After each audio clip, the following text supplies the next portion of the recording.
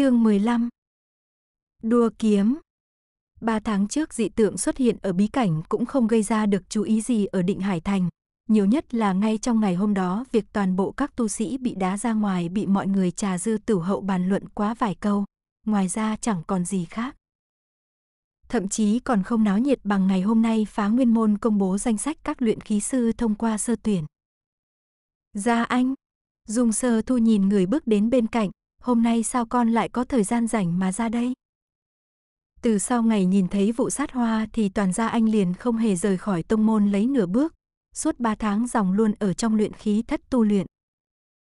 Toàn gia anh đứng trên bậc thang của phá nguyên môn nhìn xuống đám người đông nghịt ở phía dưới, còn muốn gặp người đó.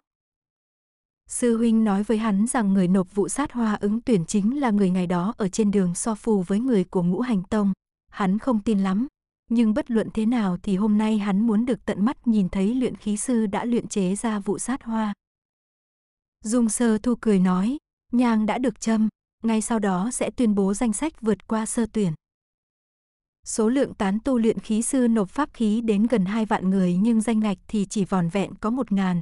Khi quyển trục từ ống tay áo của Dung Sơ Thu bay ra, mọi người ở phía dưới không khỏi nín thở nhìn quyển trục màu vàng chậm rãi mở ra. Luyện khí sư được kêu tên thì tiến lên lĩnh ngọc bài, sau đó liền có thể tiến vào phá nguyên môn chuẩn bị sơ thí. Dung sơ thu tiến lên một bước cất giọng nói.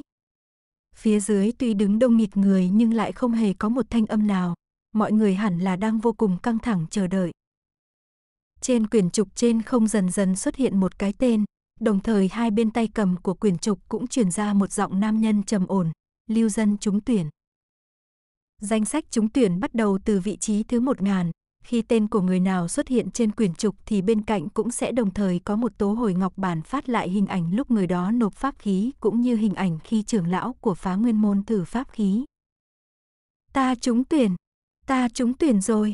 Một nam luyện khí sư chừng 40 tuổi chen ra từ trong đám người la lớn, là ta.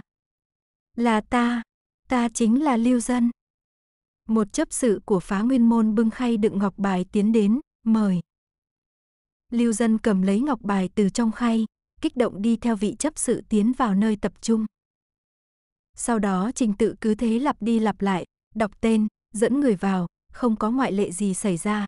Những luyện khí sư trúng tuyển đều hết sức kích động, Tuy rằng về sau không nhất định có thể vượt qua được sơ thí nhưng chỉ với việc có thể đạt được danh ngạch để tham gia thì đối với danh tiếng của những tán tu này mà nói đối đã mang đến giúp ích rất lớn. Đọc một ngàn cái tên nói dài cũng không dài lắm, nhưng ngoài đọc tên còn phải chiếu lại hình ảnh trên tố hồi ngọc bản, còn phải đợi phá nguyên môn xác nhận người tiến lên nhận ngọc bài và người nộp pháp khí ban đầu là một, đồng thời cũng để những luyện khí sư không trúng tuyển nhìn thấy uy lực của pháp khí trúng tuyển.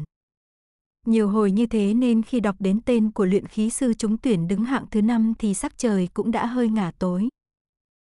Dung sơ thu phát hiện khí tức của toàn gia anh đứng bên cạnh đột nhiên trở nên căng thẳng, cười cười nói, căng thẳng. Chỉ một kiện pháp khí cũng không đại biểu được điều gì, con là đệ tử thiên phú cao nhất phá nguyên môn, chỉ mới ở trúc cơ kỳ đã có thể xông lên nhóm 200 luyện khí sư của Bách Thanh Bảng, ngày hôm trước lại vừa đột phá, bây giờ đã là trúc cơ hậu kỳ, muốn so sánh với con thì cũng chỉ có hai người ở Trảm Kim Tông có thể so được mà thôi. Toàn gia anh cục mắt nhìn hoa văn trên phiến đá dưới chân, ba tháng này hắn ở luyện khí thất không ngừng nỗ lực luyện chế lại vụ sát hoa, thành phẩm cuối cùng chỉ có thể miễn cưỡng nói ra ngô ra khoai. Mặc dù hắn đã tận lực mô phỏng vụ sát hoa nhưng vẫn không cách nào có thể tạo ra sự linh động như của bàn gốc. Xương không phải xương, hoa cũng chẳng phải hoa, một giây trước vẫn còn xinh đẹp mỹ miều nhưng ngay sau đó liền lộ ra bộ mặt hung ác, phảng phất như là vật mang linh tính trời sinh. Đó chính là ngộ đạo. Hắn không có, vì thế phục dựng không ra. Không chỉ riêng hắn mà trong giới luyện khí sư, việc này cũng chỉ có thể gặp mà không thể cầu. Mặc dù cùng là một luyện khí sư nhưng không nhất định có thể một lần nữa luyện chế ra một pháp khí giống như đúc cái lần đầu tiên. Khi toàn gia anh nghĩ thông suốt và không theo đuổi mô phỏng pháp khi của đối phương nữa thì không lâu sau đó lại đột phá cảnh giới. Người thứ tư, Hạ Nhĩ. Quyển trục đọc xong tên, tố hồi ngọc bản cũng đã chiếu xong hình ảnh. Các tán tu phía dưới bốn mắt nhìn nhau, từ đầu đến cuối không có người nào bước ra. Dung sơ thu nhíu mày, đứng dậy kêu một lần nữa, hạng tư, hạ nhĩ. Vẫn như cũ không có người đáp lời. Lúc này quyển trục lại tự động bắt đầu gọi tên, hạng ba, Tây Ngọc. Tố hồi Ngọc bản chiếu xong hình ảnh cũng không ai đứng ra. Toàn ra anh đảo mắt nhìn qua những tán tu phía dưới, lúc này đa số mọi người cũng đã không còn kỳ vọng gì, chỉ thuần túy muốn nhìn xem mấy luyện khí sư trúng tuyển ở những hạng đầu tiên là ai. Lúc này việc như thế xảy ra lại khiến mọi người không khỏi sôi nôi mà nghị luận lên. Dung sơ thu lúc trước đã gặp qua mấy người bọn họ, tầm mắt của bà không ngừng dò xét trong đám người, nỗ lực tìm kiếm. Hạng 2, Minh Lưu Sa. Không có ai bước ra. Nhóm người phía dưới vốn dĩ đang ồn ào nghị luận lại dần dần yên tĩnh lại. Ai cũng nghĩ không ra tại sao mấy người này lại không đến. Hôm nay chính là ngày phá nguyên môn công bố danh sách trúng tuyển. Hạng nhất, Diệp Tố. Thậm chí ngay cả người đứng nhất cũng không tới. Dung sơ thu liên tiếp hô mấy lần, đều không có người đáp lời. Mấy tán tu phía dưới mắt ai cũng lập lòe bát quái, không ít người bắt đầu dùng truyền tin ngọc điệp truyền tin tức cho bằng hữu kể về kỳ cảnh hôm nay. Trước phá nguyên môn vậy mà có vài người trúng tuyển nhưng lại không đến. Ta liền biết mấy món pháp khí này 8 phần 10 không phải do bọn họ tự mình luyện, nhất định là trột dạ nên không dám đến. Phòng tu đứng bên cạnh hừ một tiếng, dùng trưởng lão, trời cũng đã tối rồi, chúng ta nên trở vào tông môn thôi. Dung trưởng lão đứng ở phía trước nhất, nhìn đám người đang ồn ào bên dưới nói, chư vị, danh sách trúng tuyển đã công bố xong, nếu không còn chuyện gì khác, mời mọi người về cho. Tỷ thí tại phá nguyên môn trước nay chưa từng có chuyện sẽ bổ sung luyện khí sư cho đủ số lượng danh ngạch nên những tán tu này mắt thấy cũng không còn náo nhiệt gì khác liền lục tục tản ra. Dung trưởng lão, nhang vẫn còn chưa cháy hết. Toàn gia anh bỗng nhiên tiến lên, hay là cứ chờ thêm chút nữa. Hắn nói không được cảm giác của chính mình lúc này là gì, hắn chỉ biết là bản thân cực kỳ muốn gặp người đã luyện chế ra được pháp khí như vụ sát hoa như thế. Ngày đó ở tuy có gặp nhau ở trên đường nung toàn gia anh lại không nhớ rõ diện mạo của bọn họ trông như thế nào. Lúc đó căn bản hắn không hề để mấy người bọn họ trong lòng. Dung sơ thu liếc nhìn nén nhang vẫn còn đang cháy dở, vậy thì chờ thêm một chút. Nhưng chờ đến khi bầu trời hoàn toàn tối lại thì vẫn không có người nào xuất hiện. Đi thôi, Dung sơ thu lên tiếng, xoay người chuẩn bị mang theo hơn 900 vị tán tu chúng tuyển tiến vào phá nguyên môn. Đại sư tỷ, tiến lên. Hạ Nhĩ vừa nắm lấy y phục của Tây Ngọc vừa hô, nhanh nữa lên. Tiểu sư đệ sắp vượt qua chúng ta rồi. Đi, trước, một, bước, nhé. Minh Lưu Sa ôm chặt eo của Dịch Huyền, hai chân đều sắp bay lên, đắc ý mà chậm gì gì hô lên với ba người trên kiếm của Diệp Tố. Buông tay, Dịch Huyền mặt không hề cảm xúc ngự kiếm, nỗ lực kéo ra bàn tay Minh Lưu Sa đang ôm chặt hắn. Minh Lưu Sa căn bản làm như không nghe thấy, hắn quay đầu liền thấy đại sư tỷ lại tiến tới gần bọn họ hơn một chút nên nhanh chóng nói với Dịch Huyền. Tiểu sư đệ, kỹ thuật của đệ thiệt là không được rồi, đại sư tỷ sắp đuổi kịp chúng ta rồi kìa, sau lưng tỷ ấy còn đứng hai người, không lẽ là do ta quá nặng. Không cần hắn nói thì Dịch Huyền cũng đã cảm nhận được khí tức gợn sóng ở sau lưng, hắn ở bên ngoài rèn luyện, từ lâu đã thông thạo ngự kiếm, nhưng chưa bao giờ hắn nghĩ tới Diệp Tố vậy mà cũng học được ngự kiếm, thậm chí còn có thể đuổi theo hắn. Nốt ruồi son ở mi tâm dịch huyền càng lúc càng chói mắt, linh lực vận chuyển cũng mỗi lúc một nhanh, tốc độ ngự kiếm lại một lần nữa tăng lên. Kiếm đua của tiểu sư đệ cũng quá nhanh rồi. Diệp Tố lắc lắc đầu rồi cũng đuổi theo, lúc này trong linh phủ nàng khó có được linh lực dồi dào, ngự kiếm không phải là việc khó. Năm người hai kiếm cứ như thế trong không trung đua lên, dòng khí lưu tạo ra thậm chí thiếu chút nữa khiến tu sĩ ngự kiếm bay ngang qua lật ngang té nhào, dẫn đến một chàng mắng chửi ở phía sau. Ban đêm ban hôm đua cái gì kiếm vậy hả? Đua đi đầu thai à? A à, còng thăng, phần trăm và... Năm người vận hết tốc lực ngự kiếm vậy mà cuối cùng đến nơi lại chỉ thấy được bóng lưng của nhóm người phá nguyên môn đang xoay người chuẩn bị rời đi. Đạo hữu chờ chút. Diệp Tố theo bản năng hô lên với những người kia. Toàn gia anh quay đầu nhìn lại thì liền thấy hai ánh kiếm trên trời hạ xuống, trong có có một thanh kiếm vững vàng dừng trước đại môn của phá nguyên môn, trên đó có hai người đang đứng. Thanh kiếm phía sau thì trực tiếp lướt qua hai người đó, đâm sầm vào bậc thang đá dài, ba người trên kiếm lăn lông lốc xuống. Chấm ngoặc kép. Diệp Tố lần đầu tiên ngự kiếm nhanh như vậy, phanh, lại vẫn chưa thành thục lắm, nàng ngồi dậy trên bậc thang, tiện tay cào cào lại tóc bị gió thổi loạn, sau đó khách khí chắp tay với người đứng ở trên. Các vị đạo hữu, xin hỏi danh sách trúng tuyển như thế nào rồi? Đã chậm rồi. Phòng tu nhìn thấy bọn họ liền không cao hứng, cho dù các ngươi có trúng tuyển nhưng bây giờ nhang cũng đã cháy hết, các ngươi đừng hòng có thể tiến vào phá nguyên môn của chúng ta. Diệp Tố chớp chớp mắt, lời này có nghĩa bọn họ đã trúng tuyển. Vì sao đến giờ này các ngươi mới đến? Dung sơ thu một lần nữa quay lại, phá nguyên môn tỉ thí trước giờ luôn coi trọng quy củ, nhang tận giờ hết, các ngươi xem như đã từ bỏ danh ngạch. Diệp Tố tất nhiên không thể nói là do bọn họ đã quên, tầm mắt của nàng nhìn về nén nhang bên trong đỉnh đá phía trên bậc thang, nàng hai bước gộp thành một bước phóng nhanh lên trên, cúi người thổi đi cho nhang, lộ ra một điểm đỏ hồng, chỉ vào nó nói, vẫn còn chưa cháy hết. Dung sơ thu, chấm ngoặc kép. Phòng tu nhịn không được thấp giọng mắng một câu, ai mua nhang đó. Mà chất lượng tốt như vậy. Dung trưởng lão, toàn gia anh ở bên cạnh gọi một tiếng. Chờ cũng đã chờ lâu như vậy rồi, chút nhang này cũng chẳng khác biệt gì. Thôi, Dung sơ thu gật đầu, các người cũng lên đây đi. Một ngàn luyện khí sư trúng tuyển phải tiến vào phá nguyên môn chuẩn bị cho sơ thí. Dịch huyền không có nộp sơ tuyển pháp khí nên không thể đi vào. Diệp Tố quay lại đi về phía dịch huyền, tiểu sư đệ. Chấm, chấm ngoặc kép. Ta cũng phải đi rồi. Dịch huyền đánh gãy lời nói của nàng, xoay người liền muốn ngự kiếm rời đi, bị Diệp Tố kéo lại. Chờ đã. Diệp Tố từ trong túi cản khôn lấy ra một đống phù. Đây là tật tốc phù, đây là kim cương phù, còn có mê ngủ phù. Ha ha phù ngươi cũng cầm lấy đi. Nàng vừa dúi phù vào tay dịch huyền vừa nhanh chóng nói qua một lần tác dụng của các loại phù. Dịch huyền lạnh lùng nói, ta không có linh thạch để mua. Diệp Tố hừ một tiếng, trước khi ngươi thoát ly tông môn thì vẫn là tiểu sư đệ của ta, ở bên ngoài quá nguy hiểm, chỗ nào có thể dùng được phù cứ dùng.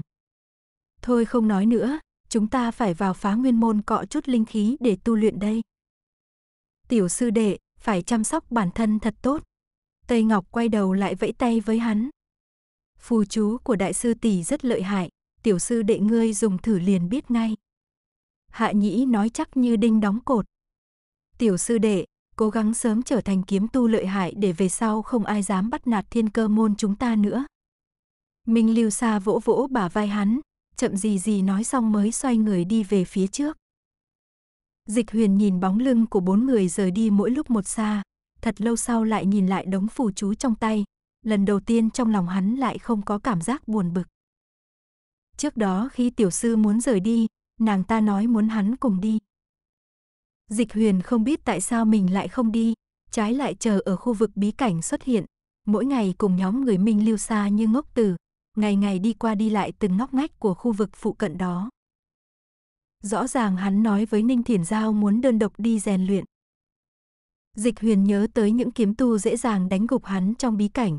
Mỗi một tên kiếm tu trong đó tùy tiện chọn một tên đều lợi hại hơn hắn. Các loại tâm tình phức tạp trong lòng nhất thời liền tiêu tan, chỉ còn lại niềm khao khát muốn trở nên mạnh mẽ hơn nữa. Hắn cụp mắt một lúc lâu, rốt cục cất phù chú đi, ngự kiếm biến mất trước đại môn của phá nguyên môn nhất định sẽ có một ngày hắn sẽ trở nên cường đại. Tác giả có lời muốn nói. Phòng tu, tức cái lồng ngực thật sự, tự nhiên mua nhang tốt như vậy làm cái gì? Chương 16 Sơ thí Phá nguyên môn có quy mô không nhỏ, ở ngoài cùng là một thí luyện trường cực lớn, trông về phía xa là những tòa kiến trúc tụ lại với nhau như từng cụm mây, lại gần mới nhìn rõ là rất nhiều cung điện với các phòng mái cao chỉ nhìn mỗi kiến trúc bên ngoài đã thấy khí thế bất phàm. Dư quang của toàn gia anh vẫn luôn dõi theo Diệp Tố, đối phương đang thấp giọng nói gì đó với người bên cạnh, đó chính là người đã luyện chế ra vụ sát hoa. Không quá giống với trong tưởng tượng của hắn. Đại sư tỷ, linh khí của phá nguyên môn thật dồi dào. Hạ nhĩ hạ giọng kích động nói, không thua kém gì với tiểu bí cảnh kia. Phải nhân khoảng thời gian này cố gắng tu luyện thật tốt. Diệp Tố gật đầu trong tông môn không có nguy hiểm, có thể an tâm hấp thụ linh khí. Nàng cảm giác cảnh giới của bản thân đã rất lơi lỏng, hẳn là do sau khi nàng ngất xỉu trong bí cảnh nó không bị khống chế nữa. May mắn là chúng ta đã đuổi tới kịp lúc. Tây Ngọc nhớ đến mấy tháng vừa qua trong lòng vẫn còn sợ hãi, không nhịn được hỏi, đại sư tỷ, tại sao tỷ lại bị lưu lại bí cảnh? Bọn muội đều bị đá ra, bọn họ nói rằng định cảnh chi bảo bị cầm đi nên bí cảnh đã bị hủy hoại. Ta cũng không rõ, Diệp Tố nhớ tới thân ảnh lúc đó, sau khi nàng tỉnh lại thì không bắt gặp bất cứ vật còn sống nào, nàng thậm chí còn cho rằng chính mình sinh ra ảo giác, có thể ta bị nhốt trong cảnh trung cảnh, tốc độ chảy của thời gian có chút kỳ quái, vừa ra tới thì ba tháng đã trôi qua. Không, bị, thương, là, tốt, rồi, Minh Lưu Sa gần từng chữ nói. Diệp Tố cười nói, cảnh trung cảnh đó cũng không có bảo bối gì. Ở tu chân giới thì nguy hiểm cùng kỳ ngộ chính là một đôi song hành, nơi càng có thiên tài địa bảo thì nguy hiểm càng cao và ngược lại. Từ sau khi bọn họ tiến vào bí cảnh, thu hoạch lớn duy nhất chính là cọ được không ít linh khí, ba người trúc cơ thành công, ngoài ra giết được vài đầu yêu thú, về sau mặc dù đụng phải cảnh trung cảnh nhưng cũng không có đại yêu thú gì, bị tiểu hắc xà nhà chị gặm hết rồi còn đâu mặt cười. Phòng trừng đã bị người nào đó giành trước một bước. Tây Ngọc nhỏ giọng nói định cảnh chi bảo đã bị lấy đi mất, không biết nó là cái gì. Hạ Nhĩ vốn đang muốn tham gia câu chuyện thì đoàn người phía trước đột nhiên dừng lại. Dung Sơ Thu đứng đằng trước xoay người lại chỉ vào 10 vị ngoại môn đệ tử đứng chờ đã lâu ở thí luyện trường. Chốc nữa bọn họ sẽ dẫn chư vị đến chỗ nghỉ ngơi. Tạ trưởng lão. Đa tạ Dung trưởng lão. Các tán tu chúng tuyển sôi nổi chắp tay cảm tạ. Dung Sơ Thu tiếp tục nói, buổi thi đấu đầu tiên sẽ diễn ra vào 10 ngày sau, tỷ thí sẽ diễn ra ngay tại thí luyện trường này. Còn về nội dung tỷ thí, ta có thể tiết lộ trước cho mọi người một chút là nó sẽ có liên quan đến tài liệu. Nói xong bà dẫn theo các vị chấp sự cùng nhóm nội môn đệ tử đi về hướng sau núi. Trước khi rời đi, toàn gia anh theo bản năng quay lại nhìn đám người. Do tầm mắt của hắn quá mức rõ ràng nên Diệp Tố cũng ngước mắt lên nhìn đệ tử tuổi trẻ tuấn tú đang nhìn mình kia mà hơi hơi nhướng mày. Đối phương ngược lại lại chủ động rời ánh mắt. Thỉnh chư vị đạo hữu đi theo chúng tôi. Mỗi một ngoại môn đệ tử dẫn theo 100 tán tu đi về phòng. Đến nơi thì các tán tu mới phát hiện ra là phòng tập thể, 10 người một phòng. Trước cửa phòng có dán danh sách tên của các vị, tên của các vị ở phòng nào thì sẽ trụ ở phòng đó. Ngoại môn đệ tử dẫn nhóm người của Diệp Tố nói, pháp khí sơ tuyển đã được trả lại, đặt trên giường của các vị, nếu còn vấn đề gì khác bất cứ lúc nào cũng có thể tìm tại hạ. Diệp Tố cùng các sư đệ muội đi một vòng, rốt cuộc ở gian phòng cuối cùng cũng tìm được tên của bản thân. Các vị đều quen biết nhau sao? Một tán tu khoảng chừng 40 tuổi bước tới, cực kỳ hâm mộ mà nói với nhóm diệp tố pháp khí của các vị luyện gia quả thật rất không tồi. Ngươi là? Diệp tố hỏi, nàng không nhớ rõ có quen biết người này. Ta tên Lưu Dân. Đối phương tự giới thiệu, đệ nhất từ dưới đếm lên, ta đã nhìn thấy tố hồi hình ảnh pháp khí của các vị, đặc biệt là cái tên là vụ sát hoa thật lợi hại, hẳn là có thể tiến vào bách thanh bảng nhì. Sau đó cũng có vài người lục đục tiến vào, nhìn bọn họ vài lần nhưng cũng không lên tiếng chào hỏi, chỉ lo bước vào nhận giường của mình. Bách Thanh Bảng, Diệp Tố nghe cái tên này có chút quen tai. Là, cái, cần, nộp, tiền, đó. Minh Lưu Sa đứng bên cạnh giải thích. Vừa nghe thì Diệp Tố liền nhớ ra, trường môn sư phụ đã từng có một lần nhắc qua về Bách Thanh Bảng, bất quá cái bảng bình chọn pháp khí đó, không những phải đưa pháp khí qua đó còn phải nộp một khoản bình chọn phí khoảng chừng 500 trung phẩm linh thạch. Bảng đó à, cũng chỉ là cái bảng mà thôi. Diệp Tố lắc đầu, bảng gì mà phải giao tiền mới bình chọn, nàng cảm thấy không đáng tin. Lưu dân, Bách Thanh bảng cũng chỉ là cái bảng mà thôi. Mọi người bước vào phòng, quả nhiên nhìn thấy pháp khí sơ tuyển đã được đặt trên giường của từng người, còn được đựng trong hộp tinh xảo. Diệp Tố mở hộp, lấy vụ sát hoa từ bên trong ra, nhìn một chút rồi thu nó vào túi càn khôn. Phần lớn các lá phù trong túi càn khôn đã được đưa cho dịch huyền. Diệp Tố vừa đem vụ sát hoa bỏ vào thì nhìn thấy bên trong túi nhiều ra thêm một hạt châu. Đó là cái gì?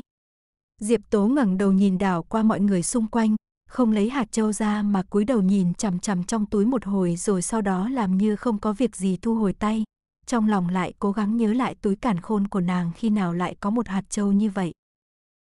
Hạt châu trong vắt, bên trong ẩn ẩn có sương mù lay động, nhìn qua liền biết không phải là vật tầm thường.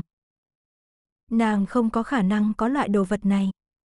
Diệp Tố ngồi trên giường của mình, rũ mắt hồi tưởng lại tất cả việc phát sinh trong bí cảnh, không có người nào chạm vào túi càn khôn của nàng, chỉ có thể là đoạn thời gian mà nàng mất đi ý thức kia, cho nên, thân ảnh mặc đạo bào huyền sắc kia không phải là ảo giác. Dịch huyền cũng giống nhóm Minh Lưu Sa bị đá ra khỏi bí cảnh, người nọ chắc chắn không phải tiểu sư đệ, vậy đối phương ném hạt châu vào túi càn khôn của mình làm gì? Nàng nghĩ không ra. Trung quanh còn có người ngoài, Diệp Tố không tiện lấy hạt châu ra, đành phải làm như bản thân không phát hiện điều gì bất thường. Một góc của phá nguyên môn, hiện giờ 10 phần náo nhiệt. Một nghìn luyện khí sư trúng tuyển mỗi ngày sáng sớm liền bắt đầu học thuộc thuộc tính và công hiệu của các loại tài liệu, thậm chí có luyện khí sư còn trộm học của những người khác để đảm bảo bản thân biết nhiều nhất có thể. Bị bọn họ ảnh hưởng, Minh Lưu Sa, Tây Ngọc cùng Hạ Nhĩ ba người đều có chút khủng hoảng sợ chính mình lỡ như không đuổi kịp đến lúc đó sẽ bị đào thải ngay từ vòng đầu tiên. Cho nên ba người buổi sáng thì ra sức học những thứ trong ngọc giản được Diệp Tố viết trước đó. Buổi chiều cùng buổi tối thì đả tọa tu luyện, hấp thụ linh khí. Còn Diệp Tố thì cả ngày nàng đều ở trong phòng hấp thụ linh khí tu luyện. Nơi này thật ra cũng chỉ là rìa ngoài của phá nguyên môn, linh khí không tính là ít nhưng đối với nàng mà nói thì cũng chỉ tính là miễn miễn cưỡng cưỡng, linh phủ quá lớn cũng là một loại phiền toái. Đại sư tỷ, Hạ Nhĩ từ bên ngoài trở về, đệ đã hỏi thăm một vòng, bọn họ đều nói vòng đầu tiên hẳn là sẽ thi phối tài liệu. Thi phối tài liệu à, hẳn là sẽ không khó. Diệp Tố đứng dậy nói chỉ cần nắm vững kiến thức cơ bản thì hẳn là sẽ có thể tiến vào vòng trong. Về điểm này thì nàng không lo lắng, thiên cơ môn tuy rằng không có linh mạch cũng chẳng có tài liệu nhưng thư tịch thì lại không thiếu, các đệ tử đều có nền móng kiến thức cơ sở vững chắc. Hạ Nhĩ bỗng nhiên nhớ tới một chuyện, đúng rồi trước đó nhị sư huynh đã đem Nguyệt Thảo và phần yêu thú được phân của chúng ta đi bán, được khoảng hơn 1.600 trung phẩm linh thạch. Diệp Tố nhìn Hạ Nhĩ, chờ cậu nói tiếp. Hạ Nhĩ nhìn qua nhìn lại, mới tới gần Diệp Tố nhỏ giọng nói, ngày hôm trước lúc chúng ta chạy tới đây, nhị sư huynh trộm bỏ 500 trung phẩm linh thạch vào túi cản khôn của tiểu sư đệ. Túi cản khôn cũng chia làm nhiều cấp bậc, chúng đệ tử thiên cơ môn tất nhiên là dùng loại phẩm cấp thấp nhất. Cấm chế trên túi đối với một luyện khí sư có chút hiểu biết mà nói thì đều có thể dễ dàng phá giải. Minh Lưu Sa thừa lúc Diệp Huyền chăm chú phi kiếm mà ôm eo hắn, lén đem linh thạch bỏ vào túi. Làm không tồi. Diệp Tố lúc ấy vốn cũng muốn cho hắn linh thạch, tuy nhiên ngạo khí của Dịch Huyền quá cao nên nàng đành thôi, nếu hiện tại đã trộm nhét vào hẳn là cậu nhóc cũng không thể ném đi không cần. Nhắc đến chuyện lén nhét đồ vật thì Diệp Tố lại nhớ đến hạt châu bị bỏ vào trong túi càn khôn của mình. Nàng chỉ dùng tay chạm chạm nhưng cũng đã cảm nhận được hạt châu không tầm thường chút nào. Nhưng nàng lại không có sư huynh sư tỷ gì để có thể hỏi được. Chờ cọ xong linh khí ở đây rồi quay về thiên cơ môn nàng sẽ đi tìm trưởng môn sư phụ hoặc vu thủ vệ để hỏi thử, hạt châu này nhất định không phải do túi cản khôn tự mình sinh ra. Từng cụm mây bồng bềnh trôi qua các đỉnh mái của các điện uy nghiêm, xung quanh là núi non trùng điệp, tiên hạc từng con bay qua, tựa như một giới tiên cảnh. Trên chiếc cầu vòm bắc qua một dòng suối nhỏ có hai người đang đứng, một nam một nữ, bộ dáng khoảng chừng 17, 18 tuổi, cả người mặc đạo bào màu vàng. Nghe nói phá nguyên môn lại tiến hành tỉ thí, Thiếu nữ hai tay nắm lấy tay vịn của chiếc cầu, nét mặt thể hiện không quá quan tâm nói, bọn họ thật cho rằng có thể kết nạp được người lợi hại gì sao? Thiếu niên còn lại thì lại chăm chú nhìn nước chảy dưới cầu, tựa như không nghe nàng nói chuyện. Bất quá, toàn gia anh đã chúc cơ hậu kỳ. Thiếu nữ ngửa đầu, giơ tay che mắt khỏi bị trói bởi ánh mặt trời, cười khẽ một tiếng, hắn vậy mà lại đuổi kịp chúng ta. Lúc này thiếu niên đứng cạnh mới nhàn nhạt nói, hắn cùng lắm cũng sẽ chỉ lết lên được tới vị trí giữa gần cuối của bách thanh bảng mà thôi. Đúng vậy, thiếu nữ hạ tay xuống, xếp hạng của chúng ta cũng nên tiến lên rồi. Mười ngày nháy mắt liền trôi qua. Ngày thi vòng đầu tiên, ngoại môn đệ tử đến mời các tán tu trúng tuyển đi đến thí luyện trường. Khi bọn họ đến nơi, trên đài cao đã có vài vị trưởng lão an tỏa, bên cạnh có không ít nội môn đệ tử đang đứng. Các luyện khí sư ngồi xuống vị trí đã quy định, hàng đầu tiên ngồi 10 người đứng đầu trong cuộc sơ thí. Dung sơ thu phụ trách chủ trì, bà nhẹ nhàng phất tay, một nghìn quyển trục liền bay tới trên bàn trước mặt các luyện khí sư. Đề mục lần này là với 100 loại tài liệu chư vị phải trong vòng 12 canh giờ viết ra được các phương pháp phối hợp luyện chế, càng nhiều càng tốt. 100 vị viết ra được nhiều nhất và đúng nhất sẽ tiến vào vòng trong, tỉ thí cùng với nội môn đệ tử của phá nguyên môn. Nghe vậy liền có người vội vã mở ra quyển trục, trên quyển trục liền xuất hiện hình ảnh của 100 loại tài liệu nhưng bề mặt của quyển trục thì lại trống. Trên bàn của bọn họ có bút mực, hiển nhiên là phải viết các phương pháp phối hợp luyện chế các loại tài liệu này lên trên bề mặt của quyển trục. Diệp Tố giơ tay nhẹ nhàng nhanh chóng lướt qua hình ảnh của các loại tài liệu. Đề mục này của phá nguyên môn có chút lắt léo. Trong số tài liệu này có ít nhất 50 tài liệu thuộc loại ít gặp, ít dùng. Nàng quay đầu nhìn một vòng phía sau, quả nhiên không ít luyện khí sư đã bắt đầu đổ mồ hôi, biểu tình khẩn trương, không ngừng lật hình ảnh của tài liệu hỏng tìm ra loại tài liệu mà mình quen thuộc. Minh Lưu Sa, Tây Ngọc cùng với Hạ Nhĩ trước đó đã ngày đêm nhồi nhét các loại tài liệu không thường gặp nên đối với bọn họ mà nói thì cũng không tính là quá khó. Với lại trong danh sách vẫn còn hơn 40 loại tài liệu phổ biến. Sư đệ, đây không phải là đề mục đại khảo của chúng ta năm ngoái hay sao? Phòng tu duỗi cổ hóng hớt nửa ngày giật mình hỏi toàn gia anh. Đúng vậy, toàn gia anh vừa trả lời vừa nhìn chằm chằm Diệp Tố ở vị trí đầu tiên bên trái, nàng tựa hồ không có chút khẩn trương nào. Phòng tu theo bản năng lau mồ hôi trên trán, năm ngoái sau khi khảo xong thì hầu như nội môn đệ tử nào cũng bị chấp sự mắng cho máu chó đầy đầu, sau còn bị các trưởng lão của trách thêm một chặp nữa, mắng bọn họ không có trí tiến thủ, cả ngày mơ mơ màng màng, tàng thư các nhiều thư tịch như vậy cũng không biết đi tìm đọc, học tập. Sư đệ, lần trước đệ viết được bao nhiêu phối phương? Phòng tu hỏi, lần đó chỉ có mỗi toàn sư đệ là không có ăn mắng. Những người khác ngay cả trăm loại tài liệu còn chưa nhận biết hết huống chi là phải viết phối phương. 3.921 cái. Toàn ra anh nhớ lại đại khảo năm ngoái cũng không quá hài lòng. Hắn có 7 loại tài liệu không nhận thức nên hoàn toàn không có đụng đến 7 loại đó. Phòng tu, hắn cũng chỉ phối được hơn 800 cái, còn không nhiều bằng số lẻ của người ta. Phía dưới thí luyện trường các luyện khí sư đã bắt đầu để bút viết chữ, Diệp Tố tự nhiên cũng bắt đầu viết xuống các phối phương phối hợp luyện chế. Sơn Giáp Lân, Ô Hàn Nha cùng với huyền thiết thì có thể phối hợp để luyện chế tam tiêm trùy. Diệp Tố viết rất nhanh, cơ hồ không cần dừng lại tự hỏi, trong đầu nàng liền liên tục nhảy ra các phối phương để phối hợp các loại tài liệu. Ba người Minh Lưu Sa bên cạnh nàng cũng tương đối thuận lợi.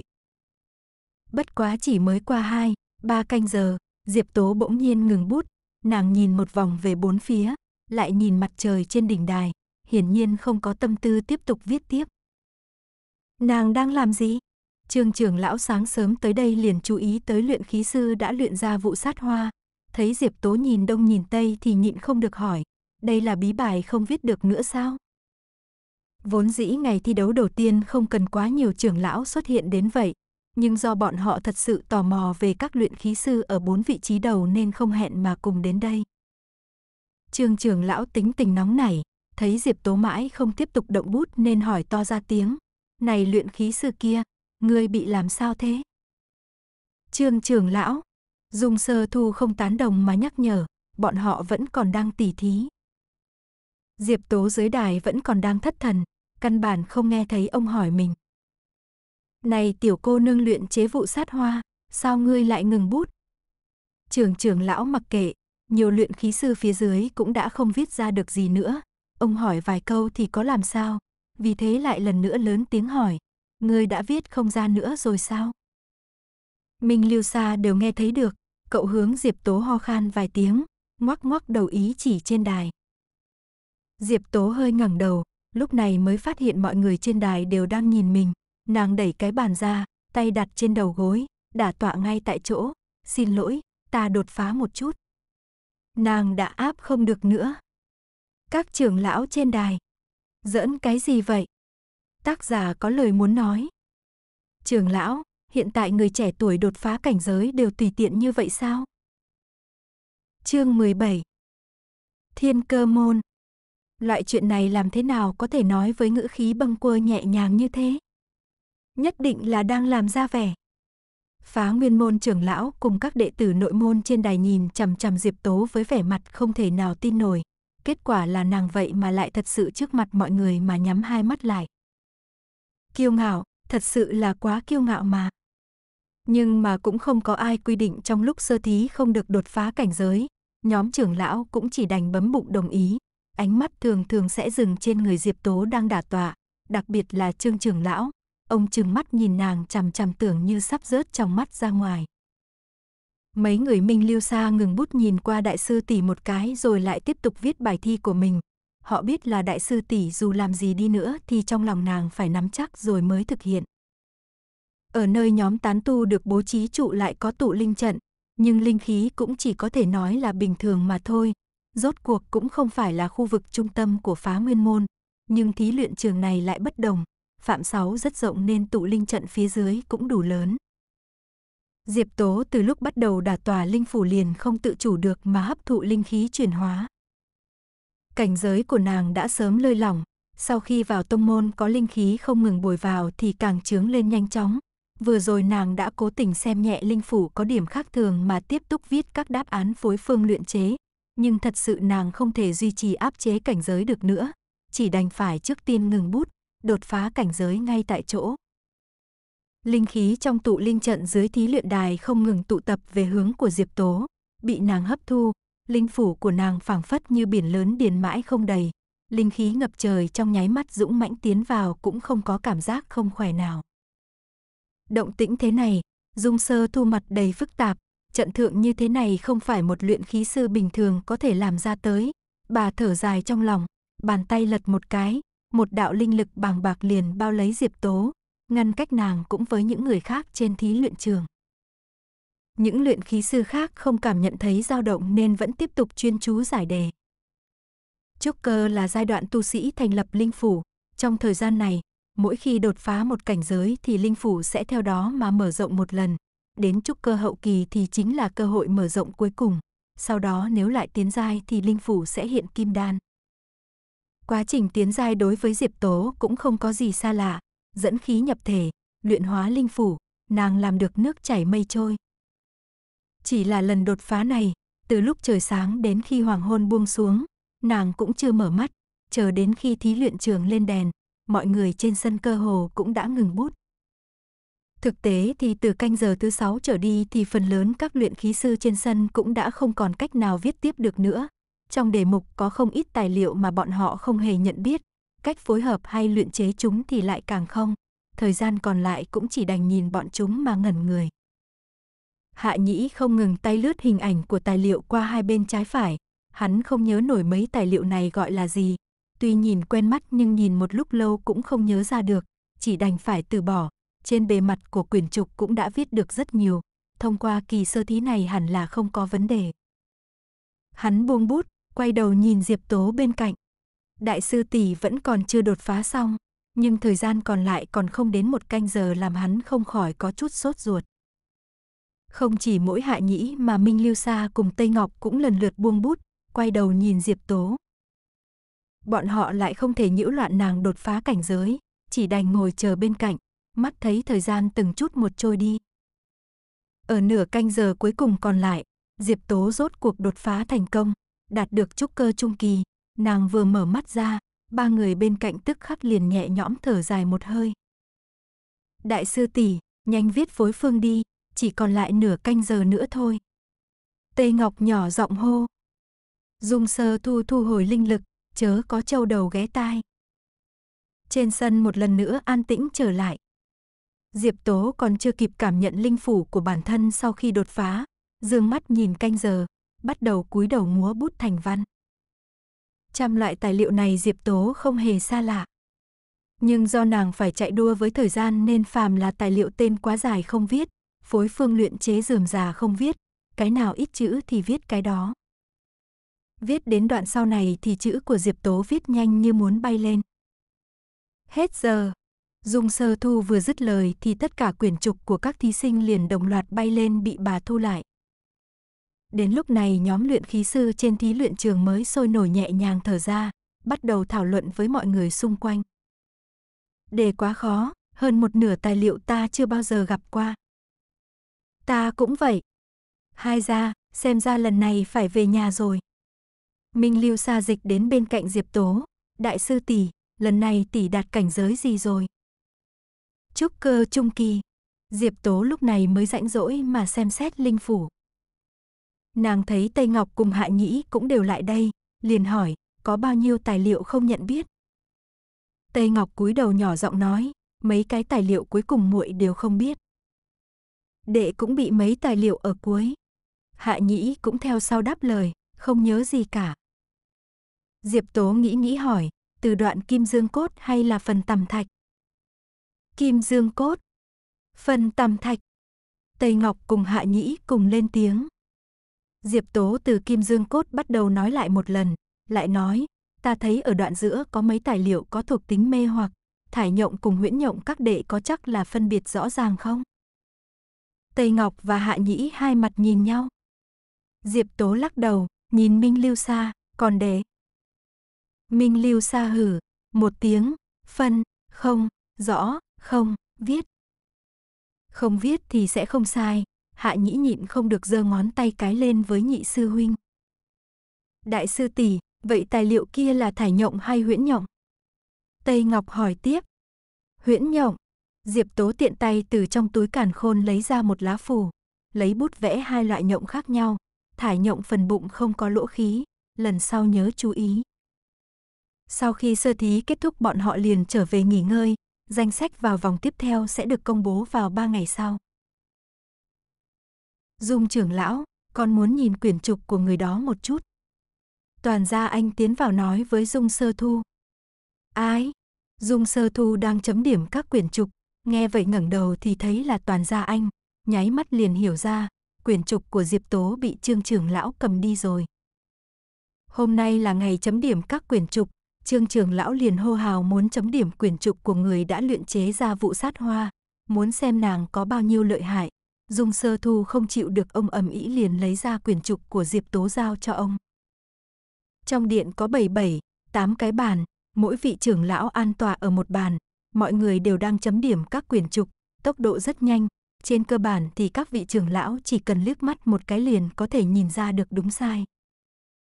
Có luyện khí sư ngay cả tên tài liệu còn viết sai, không cần nói đến phối phương luyện chế.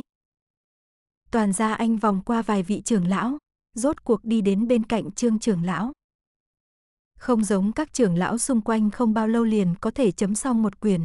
Trương trưởng lão tay cầm một quyển trục cao mày nhìn nhìn chằm chằm, phảng phất như đụng phải một nan đề khó giải. Trương trưởng lão, tầm mắt của toàn gia anh dừng trên quyển trục, nét chữ ở nửa đầu quyển trục mạnh mẽ lưu sướng nhưng ở nửa sau thì gần như rồng bay phượng múa. Đây là quyển trục của Diệp Tố đúng không ạ? À? Gia anh, Trương trưởng lão hoàn hồn, chỉ vào một hàng chữ trên quyển trục, con tới thật đúng lúc, nhìn xem phối phương luyện chế này có đúng hay không. Một khối phần tằm thạch, hai miếng chư xà cốt, ba lượng huyễn nhộng, toàn ra anh nhíu mày, hắn chưa bao giờ gặp qua phối phương này, trên thực tế hắn thậm chí chưa từng nghe qua chư xà cốt có thể dùng chung với huyễn nhõng, còn có phối phương như thế này ư? Ta đã từng gặp qua phối phương này.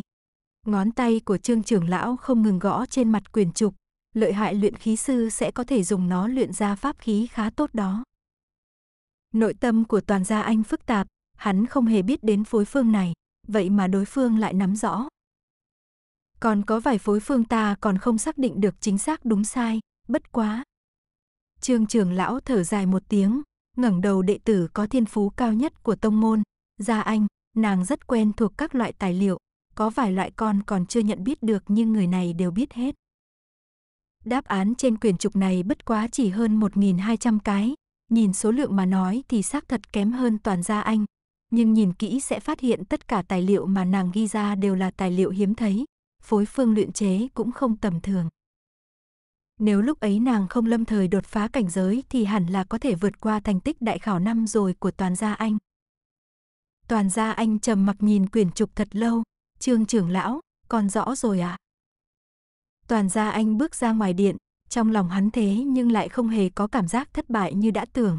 Hắn cúi đầu cười một tiếng tự diễu, có lẽ bởi vì loại cảm giác vô lực này từ sớm đã khắc sâu vào trong lòng. Là thiên tài của phá nguyên môn luôn chịu vô số người chú mục nhưng mỗi lần đối đầu với hai người của trảm kim tông trước giờ cũng chỉ có thua, hiện giờ lại bại bởi thêm một người khác, tựa hồ cũng không có gì đặc biệt. Cũng có thể là thật sự năng lực của hắn cũng chỉ có vậy mà thôi. Đại sư tỷ, tỷ một năm đột phá hai cảnh giới. Còn ai dám nói tỷ không phải là thiên tài đâu. Hạ nhĩ lại bắt đầu, qua năm thì kim đan, năm sau nữa đạt nguyên anh, cái năm sau nữa thì... Diệp Tố cắt ngang lời huyên thuyên của hắn, nếu tính theo lời đệ nói thì không tới 10 năm đại sư tỷ của đệ trực tiếp phi thăng luôn được rồi đó. Đệ cảm thấy có khả năng mà. Hạ nhĩ lời khoác lác tuôn ra không cần bản thảo. Minh Lưu xa ở bên cạnh chậm gì gì nói, đệ, nổ, cũng, vừa, vừa, phải, phải, thôi. Đại sư tỷ, chúng ta khi nào trở về? Tây Ngọc soi gương hỏi, chúng ta rời tông môn cũng đã lâu. Thi xong vòng tiếp theo, lấy được tài liệu thưởng thì chúng ta liền trở về. Diệp Tố nói, chờ chúng ta trở về, Tân Hâm cũng nên thực hiện lời hứa của hắn. Bốn người đang nói chuyện, bên ngoài đột nhiên truyền đến tiếng gõ cửa. Trong phòng hiện giờ chỉ có nhóm bọn họ, những người khác có trở về cũng sẽ không gõ cửa. Diệp Tố quay đầu nhìn về phía cửa nói, mời vào. Một người đẩy cửa bước vào, vì ngược sáng nên không thấy rõ mặt.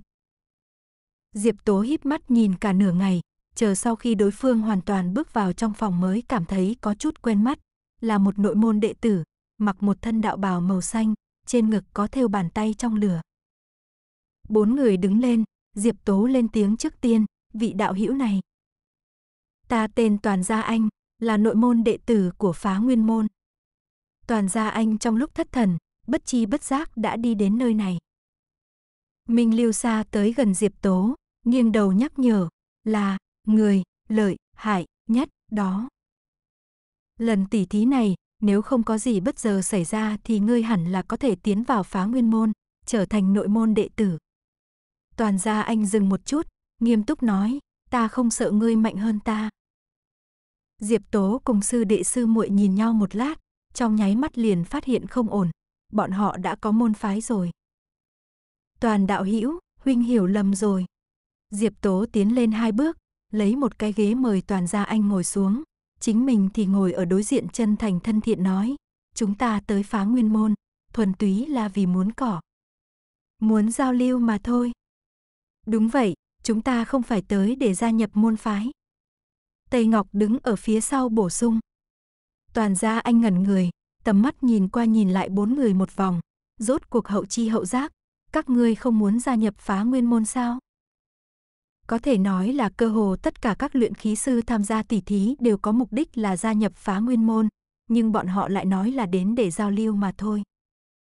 Toàn gia anh nhìn bốn người mặc một thân trường bào màu đen thống nhất, rốt cuộc nhớ tới mấy người này lúc trước trên đường lớn nói rằng bản thân là đệ tử của tiểu môn tiểu phái. Các ngươi là người của môn phái nào? Diệp Tố khụ một tiếng, toàn đạo hữu trên bố cáo lúc trước của quý tông môn có nói không cho đệ tử các môn phái khác tham gia sao? Đừng giỡn, nàng còn muốn lấy chút phần thưởng về nữa đó. Toàn gia anh, không có. Diệp Tố Thuận Thế nói, đã nghe đại danh phá nguyên môn từ lâu, cho nên chúng ta mới muốn thông qua tỉ thí giao lưu với các vị một phen. Có lẽ là quá sốc bởi câu trả lời vừa rồi nên toàn gia anh không nghe vào chút nào lý do sứt mẻ của Diệp Tố. Hiện giờ hắn chỉ muốn biết một chuyện. Các ngươi là đệ tử môn phái nào? Toàn gia anh vắt óc suy nghĩ tìm trong trí nhớ tiểu môn tiểu phái nào không những dạy vẽ phù còn dạy cả luyện khí. Diệp Tố sửa sửa quần áo, nghiêm mặt nói, thiên cơ môn. Tác giả có lời muốn nói. Hạ Nhĩ, biệt danh Hạ Nổ Nổ, chuyên nổ bánh xác đại sư tỷ. Chương 18. Vô cực đan. Trong phòng im lặng không một tiếng động thế nhưng toàn gia anh lại cảm thấy ba chữ nọ vẫn còn quanh quẩn bên tai. Thiên cơ môn. Là môn phái dựa vào tống tiền mà nổi tiếng toàn bộ tu chân giới đó. Toàn gia anh nhịn không được hỏi, các ngươi tới đây tống tiền hả? Toàn huynh, xem ra huynh đối với chúng ta có chút hiểu lầm rồi. Diệp Tố thay đổi xưng hô, kéo gần khoảng cách hai bên, chân thành nói, chúng ta chỉ là muốn tới đây giao lưu học tập mà thôi, sớm nghe danh toàn huynh. Là, tinh, anh, bách, thanh, bảng. Ở thời khắc mấu chốt đại sư tỷ lại bị bí lời, Minh Lưu Sa liền chậm gì gì bổ sung. Diệp Tố vòng tay ra sau lưng giơ ngón cái với nhị sư đệ, tiếp tục nói, cho nên chúng ta muốn đến phá nguyên môn để luận bàn, vừa hay lần tỉ thí này là một cơ hội tốt. Để quang minh chính đại cọ linh khí. Toàn gia anh nói thay lời trong lòng của bọn họ. Diệp Tố. Thấy chiêu này không còn linh nghiệm nữa, Diệp Tố dứt khoát bất chấp tất cả, tựa lưng ra sau ghế, đúng vậy. Nàng trực tiếp thừa nhận nhưng toàn gia anh ngược lại không nói gì nữa. Mấy người này không phải tán tu mà là tu sĩ xuất thân từ môn phái chính thống, thế này nhưng tựa hồ lại khiến hắn cảm thấy được an ủi một chút, nhưng cùng lúc đó trong lòng lại dâng lên một nỗi cảm xúc khác. Thiên cơ môn đã suy bại hơn trăm năm vậy mà hiện giờ vẫn có có đệ tử xuất sắc. Toàn gia anh ngẩng đầu nhìn Diệp Tố ngồi ở đối diện, người này mặc một thân đạo bào huyền sắc vải thô, đôi mắt mang cười, toát lên một phong thái hoàn toàn thản nhiên. Sau một lúc lâu, hắn mới hỏi tiếp, đệ tử thiên cơ môn còn biết vẽ phù chú sao? Nghề tay trái kiếm ăn mà thôi.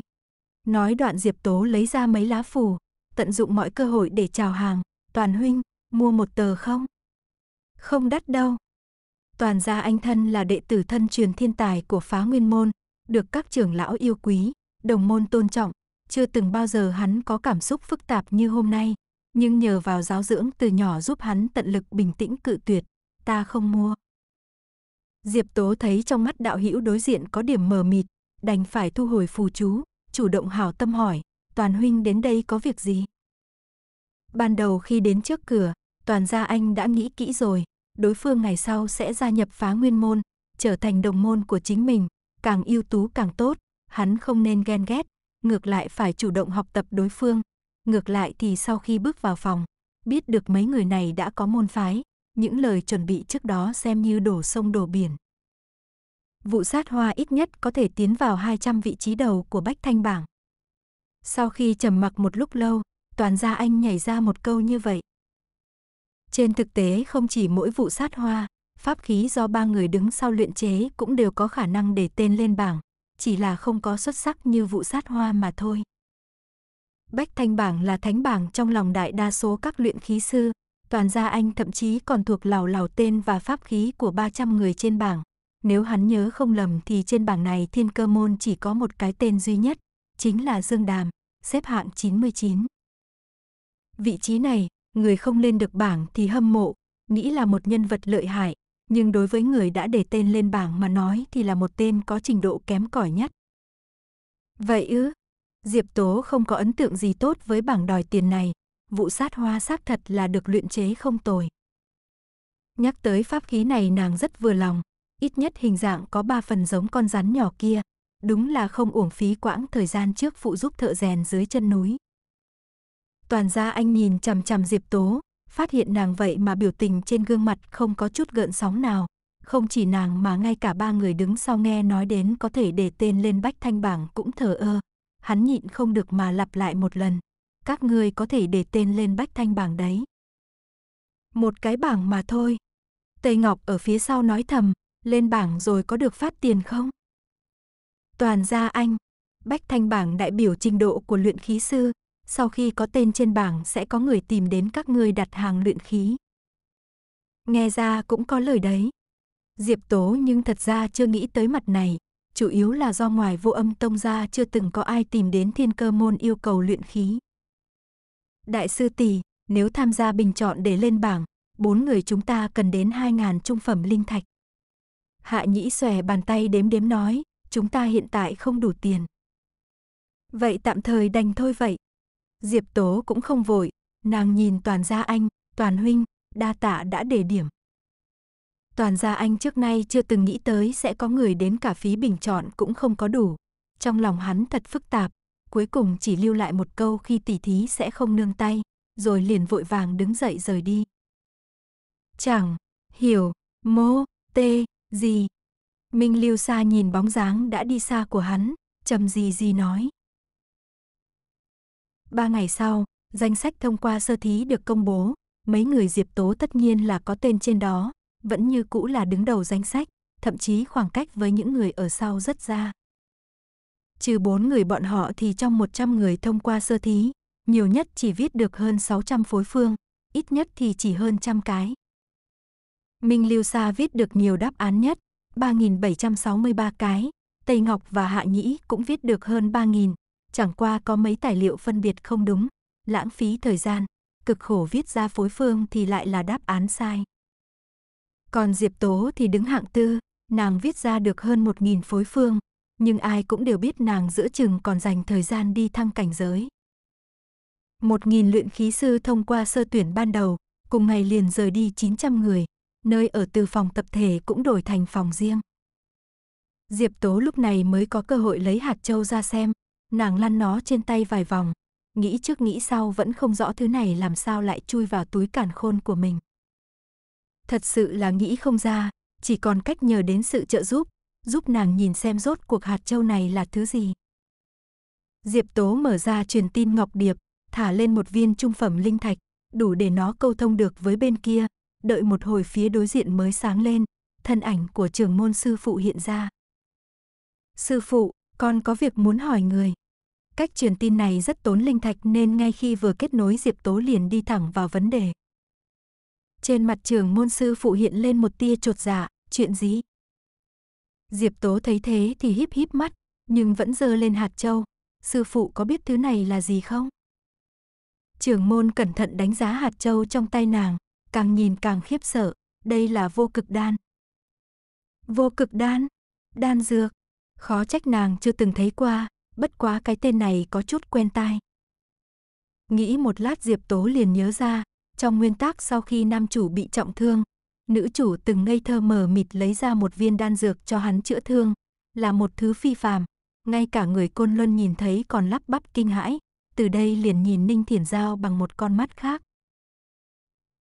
Kỳ quái, nhất định không có chuyện là Ninh Thiển Giao đưa cho nàng. Sư phụ, chúng ta bán thứ này đi, thiên cơ môn hẳn là có thể trải qua một đoạn ngày lành.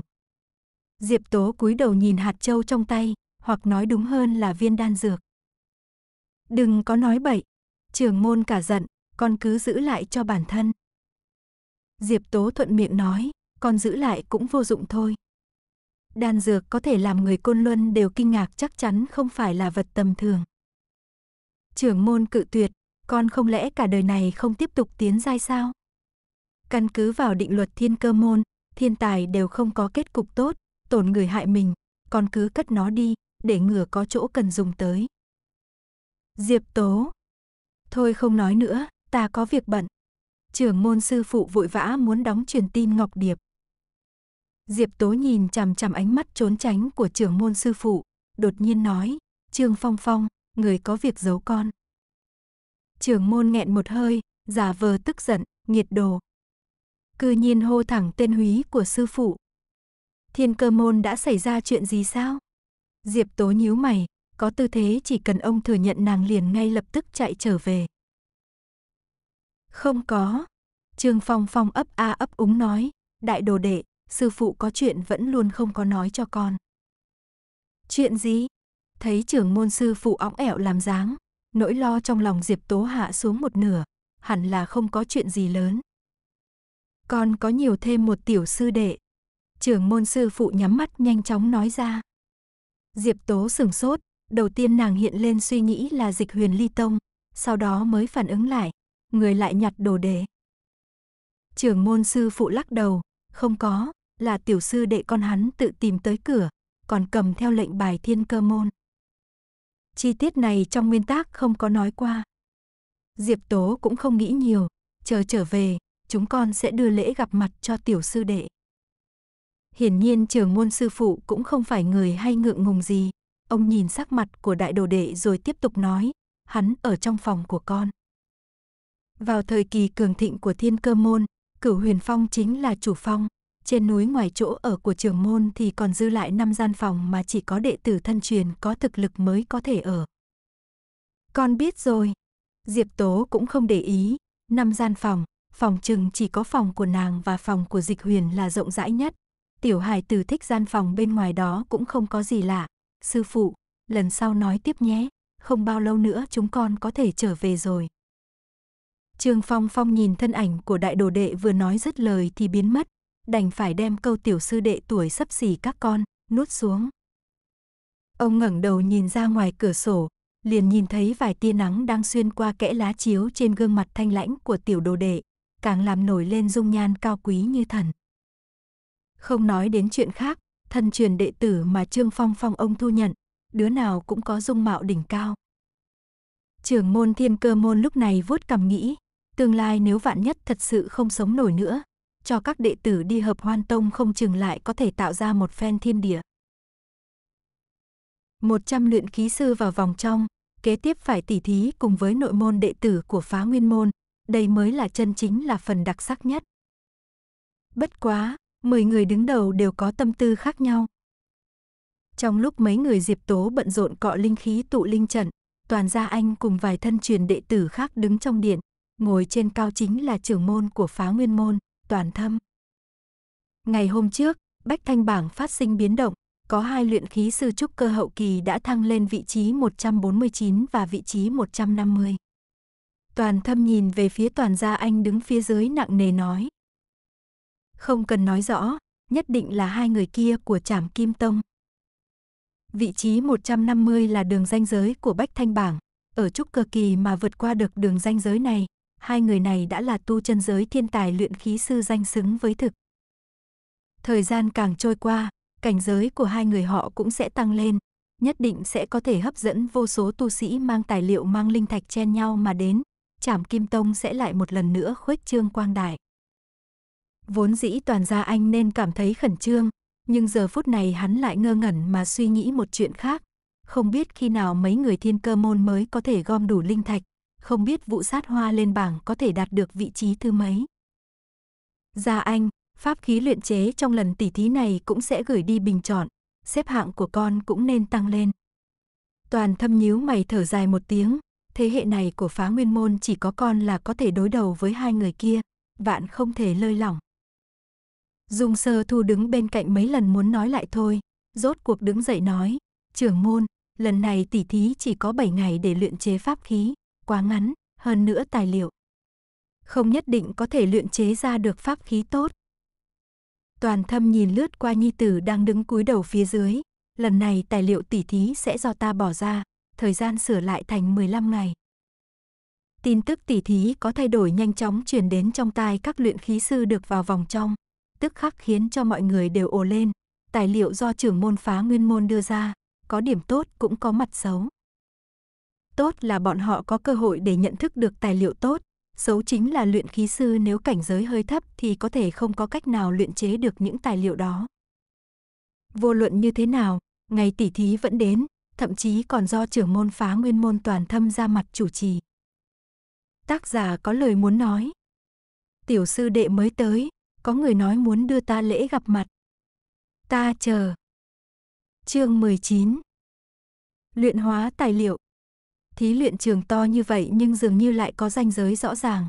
Bên trái là 100 luyện khí sư ăn mặc đủ màu đủ kiểu, còn bên phải lại là nội môn đệ tử của phá nguyên môn mặc đạo bào màu xanh đồng nhất.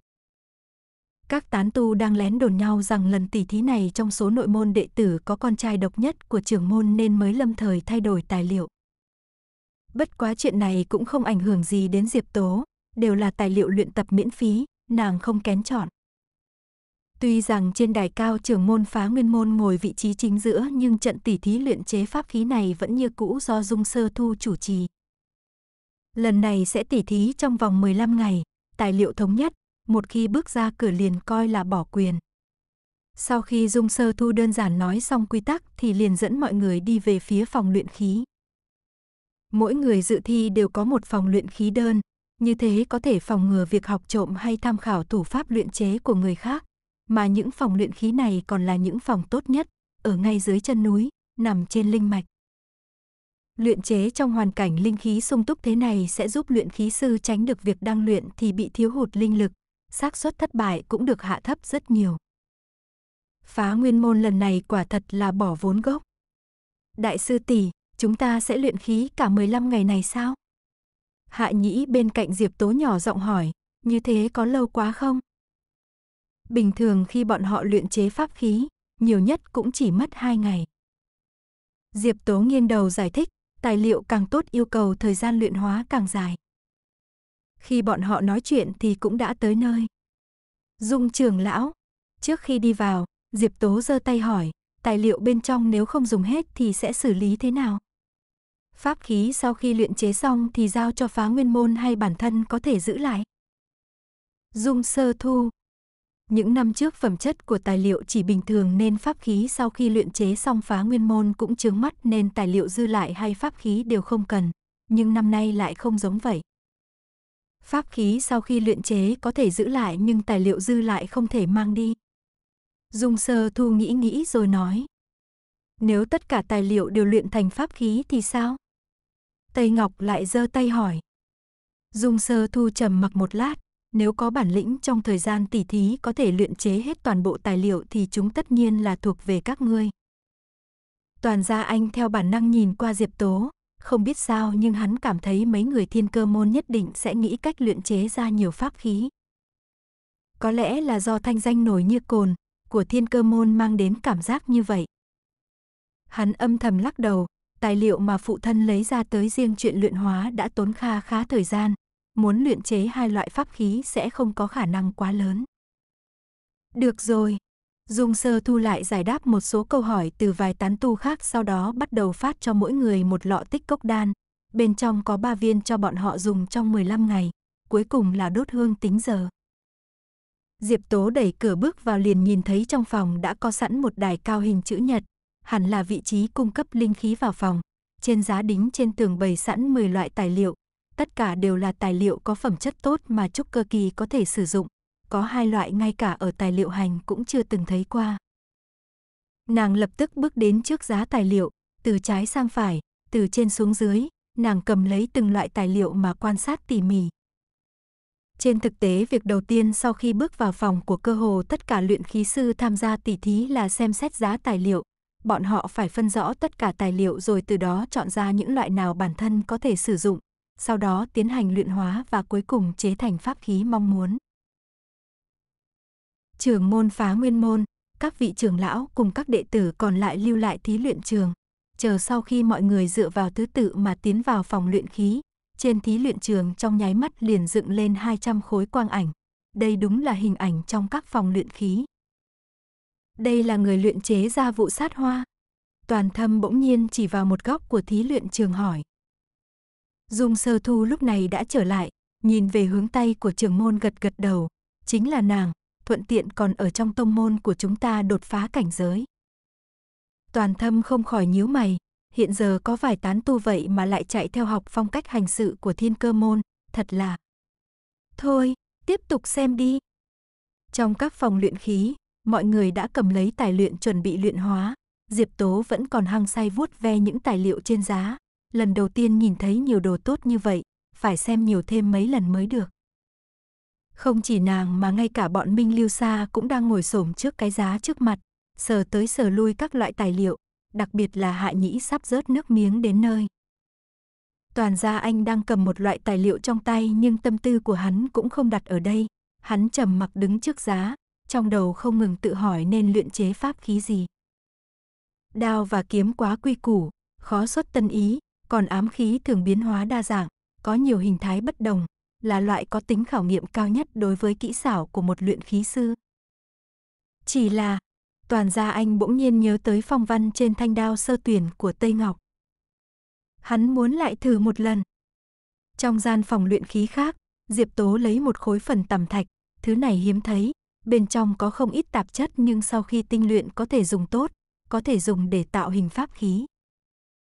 Nàng nhìn lướt qua trên giá tài liệu, trưởng lão phá nguyên môn đã nói, chỉ cần có thể luyện chế hết toàn bộ tài liệu thành pháp khí thì có thể mang đi, tiện nghi thế này không chiếm thì bao giờ mới chiếm.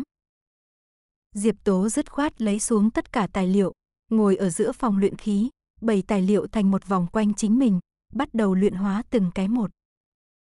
Thấy hành sáu này của nàng trương trưởng lão hừ lạnh một tiếng, tham nhiều không sợ nhai gãy răng à. Luyện hóa là việc cực kỳ hao phí linh hỏa của luyện khí sư, mỗi một loại tài liệu đều có tạp chất, muốn luyện chế pháp khí không giống nhau thì cùng một loại tài liệu trình độ luyện hóa cũng không giống nhau. Bàn tay Diệp Tố dâng lên linh hỏa, một tay khác không ngừng điều khiển tài liệu chuyển động, bắt đầu luyện hóa. Cảm giác tài liệu của luyện khí sư cũng là một loại thiên phú, đối với bốn người thiên cơ môn mà nói thì thiên phú này không thiếu. Diệp Tố không ngừng dùng linh hỏa nung khô phần tẩm thạch, tay còn lại phóng xuất ra linh lực cảm giác độ tinh khiết bên trong của khối phần tầm thạch này, mãi cho đến khi nó đạt đến tiêu chuẩn mà bản thân mong muốn lúc này mới dừng lại. Một loại lại đến một loại, Diệp Tố dùng 3 ngày thời gian để luyện hóa hết tất cả tài liệu. Trong khoảng thời gian này đã bắt đầu có người luyện khí kỳ bỏ cuộc, bọn họ căn bản không có cách nào luyện hóa ra tài liệu mà bản thân mong muốn. Bước đầu tiên đã thất bại huống chi những bước phía sau. Chỉ trong 3 ngày mà luyện hóa xong nhiều tài liệu như vậy, những tài liệu đó có thể sử dụng không? Những đệ tử không tham gia thi đấu của phá nguyên môn nhìn hình ảnh trên thí luyện trường nhịn không được mà nghị luận sôi nổi. Ta thấy tám phần là luyện bừa. Nhưng pháp khí sơ tuyển của nàng xác thực rất lợi hại, cũng coi như có chút bản lĩnh. Mau nhìn toàn sư huynh. Đao đã thành hình. Không hổ là toàn sư huynh có tên trên bách thanh bảng. Các đệ tử trên sân vô cùng kích động, đổ dồn toàn bộ lực chú ý lên người toàn gia anh. Sắc mặt của các vị trưởng lão ngồi trên đài lại khác nhau, dung sơ thu nhíu mày, bà không nghĩ tới gia anh lại một lần nữa luyện chế đao.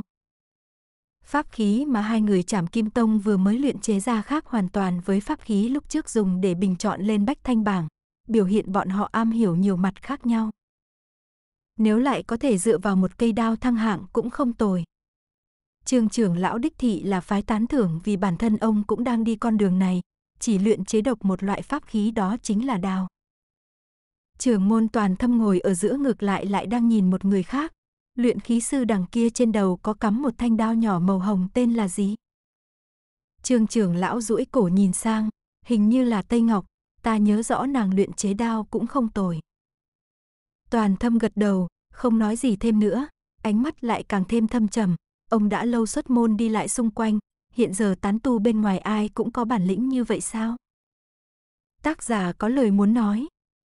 Bốn người thiên cơ môn, chiếm tiện nghi, tận dụng thời cơ, cơ hội nào cũng là độc nhất, bỏ lỡ sẽ không có nữa đâu.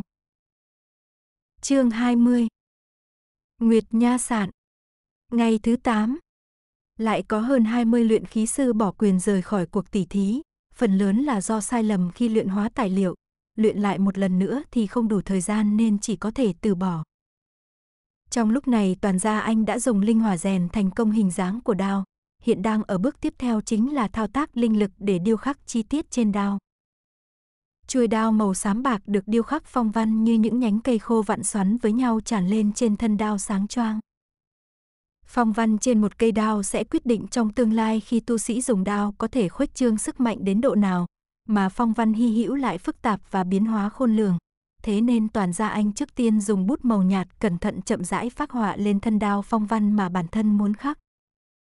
Ba tháng trước khi nhìn thấy hai phong văn hy hữu được chữa trị tốt đã ảnh hưởng đến suy nghĩ của hắn. Toàn gia anh một lần nữa đọc lại quyển thư tịch về những phong văn tàn khuyết. Trình độ của hắn hiện tại so với năm đó đã tiến bộ không chỉ một chút nên hắn khi đọc lại càng cảm thấy hiểu được nhiều hơn. Bởi vậy lần này hắn quyết định tiếp tục sử dụng phong văn do chính bản thân đã sửa chữa. Ở mỗi mặt của thân đao được vẽ hai loại phong văn riêng biệt là phá băng văn và toàn phong văn. Hai đạo phong văn này đều là tàn khuyết phong văn mà toàn gia anh đã tốn kha khá thời gian mới tu bổ tốt. Sau khi phát hỏa xong, nước màu trong nháy mắt liền khô lại, ngón tay của toàn gia anh dâng lên một cỗ linh lực tinh tế, theo dấu phát họa chậm rãi khắc xuống phong văn. Ở bước này cho dù là toàn gia anh đi nữa thì trên trán cũng toát ra mồ hôi mỏng, hắn đang khẩn trương, đây là bước mấu chốt nhất, chỉ cần hơi vô ý một chút, cả thanh đao này ngay lập tức sẽ bị hủy hoại. Dù sao chuyện luyện khí sư bị thất bại ở bước cuối cùng sau đó phải bắt đầu lại từ đâu cũng là chuyện quá thường tình rồi. Cùng lúc đó một phòng luyện khí khác cũng được mọi người đổ dồn sự chú ý. Điên rồi đi, ngay cả bút màu nhạt cũng không dùng tới. Ta nghĩ nhất định là sẽ thất bại. Lãng phí tài liệu. Các đệ tử phá nguyên môn quan khán bắt đầu ồ lên nghị luận sôi nổi, thì ra Tây Ngọc cũng đã bắt đầu định hình phong văn và lại không dùng đến bút màu nhạt phác họa trước. Bút màu nhạt khi vẽ lên trên pháp khí vừa sẽ không ảnh hưởng đến thuộc tính của tài liệu vừa dễ dàng lau đi nên đây hầu như là đồ vật căn bản mà luyện khí sư nào cũng sẽ dùng. Trong phòng luyện khí Tây Ngọc đang tập trung tinh thần khắc hoa văn lên thân đao, nàng đơn giản không biết là mình đang thực hiện thiếu một bước so với quy chuẩn, dù sao nàng tiết kiệm cũng đã quen, căn bản không bao giờ nghĩ tới dùng một khối hạ phẩm linh thạch chỉ để phác họa hoa văn. Đại sư tỷ đã khắc toàn bộ quyển hoa văn hy hữu tàn khuyết kia vào trong ngọc giản, cho bọn họ tự xem tự suy luận. Tây Ngọc mỗi ngày lấy một cái hoa văn vẽ lên mặt đất, lên cây, lên tay của bản thân. Nàng đã thuộc nằm lòng nên căn bản không cần phải dùng bút màu nhạt để phác họa trước. Nàng vừa khống chế linh lực khắc hoa văn lên đao vừa nghĩ thầm chúc cơ kỳ quả nhiên có khác, linh hỏa cũng nồng hậu lên không ít, có thể luyện chế một số tài liệu cao cấp hơn. Bởi vì rút ngắn bước phác họa nên Tây Ngọc hoàn thành sớm hơn toàn gia anh, ngay khoảnh khắc nàng dừng tay thì tất cả mọi người quan sát bên ngoài đều biết nàng đã thành công.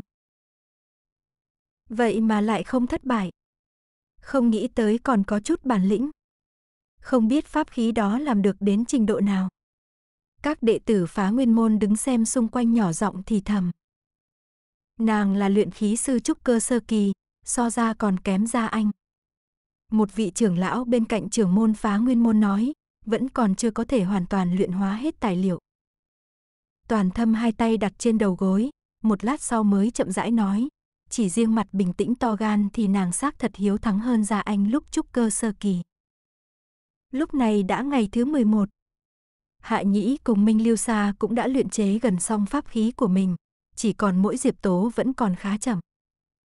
Bởi vì nàng vẫn luôn suy tư nên làm sao để sử dụng hết tất cả tài liệu làm thành một loại pháp khí. Cuối cùng nàng chốt hạ sẽ làm nguyệt nha sản, một đầu có hình dạng trăng rằm, đầu còn lại sẽ là hình lưỡi diều, hai bên có thêm hai vòng tròn. Nguyệt nha sản, nguồn https 2 gạch chéo gạch chéo zsuanlan zsisu com gạch chéo pi gạch chéo 29896737 đóng ngoặc đơn Luyện chế nguyệt nha sạn không khó, mấu chốt là hai vòng tròn lớn ở đầu hình lưỡi rìu. Vốn dĩ hai vòng tròn này có cũng được mà không có cũng không sao, chỉ là vì điểm xuyết cho tạo hình và tạo âm thanh dễ nghe khi dùng mà thôi. Nhưng Diệp Tố quyết định sửa lại, hai vòng tròn trên nguyệt nha sạn của nàng có thể tháo xuống sử dụng như một loại pháp khí khác. Bốn ngày cuối cùng Diệp Tố dùng toàn bộ để luyện chế hai vòng tròn. Trương trưởng lão nhìn bán thành phẩm Nguyệt Nha Sạn được Diệp Tố dựng trên tường ở một góc, giữa mày nhăn lại tưởng có thể kẹp chết ruồi. Vô luận là luyện chế pháp khí gì thì luyện khí sư đều có phong cách riêng của bản thân. Ông cho rằng người có thể luyện chế ra pháp khí mờ ảo lại mang theo sát khí đầy trời như vụ sát hoa chắc hẳn sẽ thiên về luyện chế những pháp khí bay bổng nhưng lại có lực sát thương lớn. Tuyệt không ngờ nàng lại đang luyện chế pháp khí vừa thô lỗ vừa thô giáp như Nguyệt Nha Sản. Quá xấu, quá cùn rồi. So sánh với vụ sát hoa thì quả thật là một trời một vực. Trương trưởng lão lấy một bàn tay che đôi mắt lại, ông cảm thấy đôi mắt mình cay quá. Diệp Tố không biết mọi người bên ngoài đang nghĩ gì, mà dù biết nàng cũng không quan tâm, nàng đang dồn toàn bộ tinh thần luyện chế hai vòng tròn. Hai vòng tròn này có thể mang trên tay dùng như ám khí, ngoài ra nàng có dùng thêm âm thạch, khi va chạm với Nguyệt Nha Sạn nó sẽ phát ra âm thanh làm sao nhãng đối thủ. Ngày thứ 15 vừa đến, tất cả mọi người đều bước ra khỏi phòng luyện khí, chỉ có những ai hoàn thành luyện chế pháp khí mới tính là thông qua tỉ thí. Sau đó phải nộp pháp khí lên để các trưởng lão thí nghiệm trước mặt mọi người ở thí luyện trường, phân ra 10 cái tên đứng đầu. Toàn gia anh đi ra phòng luyện khí, hắn hao phí quá nhiều tinh thần thế nên đối với việc luyện chế thành công pháp khí cũng không quá khiến hắn phấn khích. Trái lại là bọn Tây Ngọc, Minh Lưu Sa cùng Hạ Nhĩ, tuy rằng mỏi mệt không thôi nhưng mặt mày đều là hưng phấn. Đại sư tỷ, chuyến này chúng ta đến đây thật đáng giá. Hạ Nhĩ chen qua đám người đến bên cạnh Diệp Tố, có thể được luyện chế tài liệu tốt như vậy, còn không cần tiền nữa. Đại sư tỷ, tỷ luyện chế pháp khí gì vậy? Tây Ngọc được phân ở gian phòng luyện khí cuối cùng, nên khi chen lên đến đây thì Diệp Tố đã nộp pháp khí rồi. Nguyệt Nha Sản Diệp Tố chạy đua với thời gian, nàng vừa gắn xong vòng tròn cũng vừa lúc hết giờ. Vì phải dồn hết tài liệu lên pháp khí trong thời gian quy định nên Nguyệt Nha Sạn lần này Diệp Tố luyện chế khá là thô giáp, phần trụ của nó vốn dĩ cần phải khắc hoa văn nhưng nàng không khắc. Dù sao pháp khí cũng đã thành hình, có thể sử dụng, đến lúc sau này có thể mang pháp khí rời đi lúc đó nàng lại khắc cũng không muộn. Muội dùng 6 loại tài liệu. Tây Ngọc hiển nhiên rất vừa lòng với lần luyện chế này, tài liệu dư lại muội đều sờ qua một lần, luyện hóa không được nên thôi. Tam sư tỷ, tỷ chỉ sờ một lần thôi hả? Đệ mỗi loại ít nhất phải sờ hai lần. Hạ nhĩ nhớ tới những tài liệu còn chưa luyện hóa đó, nước miếng đều sắp rớt ra. Minh Lưu Sa vươn bàn tay, năm lần. Ba người bọn họ vừa mới trúc cơ, linh hỏa vẫn chưa khống chế tốt, hơn nữa thời gian lại có hạn nên không có cách nào luyện hóa hết tất cả tài liệu, chỉ có thể chọn ra những tài liệu phù hợp để luyện chế pháp khí mong muốn. Đám đông vừa nói chuyện vừa di chuyển về thí luyện trường của phá nguyên môn. Những người này ở trong phòng luyện khí suốt 15 ngày, cơ hồ không hề chợp mắt, thể xác mà tinh thần đều mệt dã rời vốn nên đi nghỉ ngơi. Nhưng giờ phút này ai nấy đều hưng phấn mà chờ đợi kết quả không ai muốn ngủ nghỉ gì cả. Nhóm người vừa đến thí luyện trường thì các trưởng lão cũng bắt đầu kiểm nghiệm pháp khí. Đây là bước cuối cùng cũng như là bước quan trọng nhất của lần tỉ thỉ này, có vài pháp khí thoạt nhìn qua được luyện chế không tồi nhưng trưởng lão mới chỉ vừa rót linh lực vào vẫn chưa bắt đầu sử dụng thì đã đương trường nổ tung. Lý nào lại như thế? Ta rõ ràng đã luyện chế rất tốt. Không có khả năng. Nhìn trên đài vỡ vụn pháp khí, có luyện khí sư khó có thể tin được, thậm chí có người có độ thừa nhận kém còn trực tiếp té xỉu. Dung Sơ Thu đứng lên trên đài của thí luyện trường duy trì trật tự, Bà vừa giơ tay lên thì tất cả đệ tử phá nguyên môn liền lập tức im lặng. Các tán tu khác nhìn thấy thế cũng nhanh chóng an tĩnh lại. Luyện khí là một quy trình công phu và phức tạp. Dung sơ thu nhìn đảo qua một vòng những người dưới đài, nghiêm túc nói, hình dáng chỉ là bước đầu tiên của luyện khí, pháp khí chân chính phải tiếp nhận được nguồn linh lực của tu sĩ sử dụng nó thì mới có thể phát huy sức mạnh đến mức tận cùng.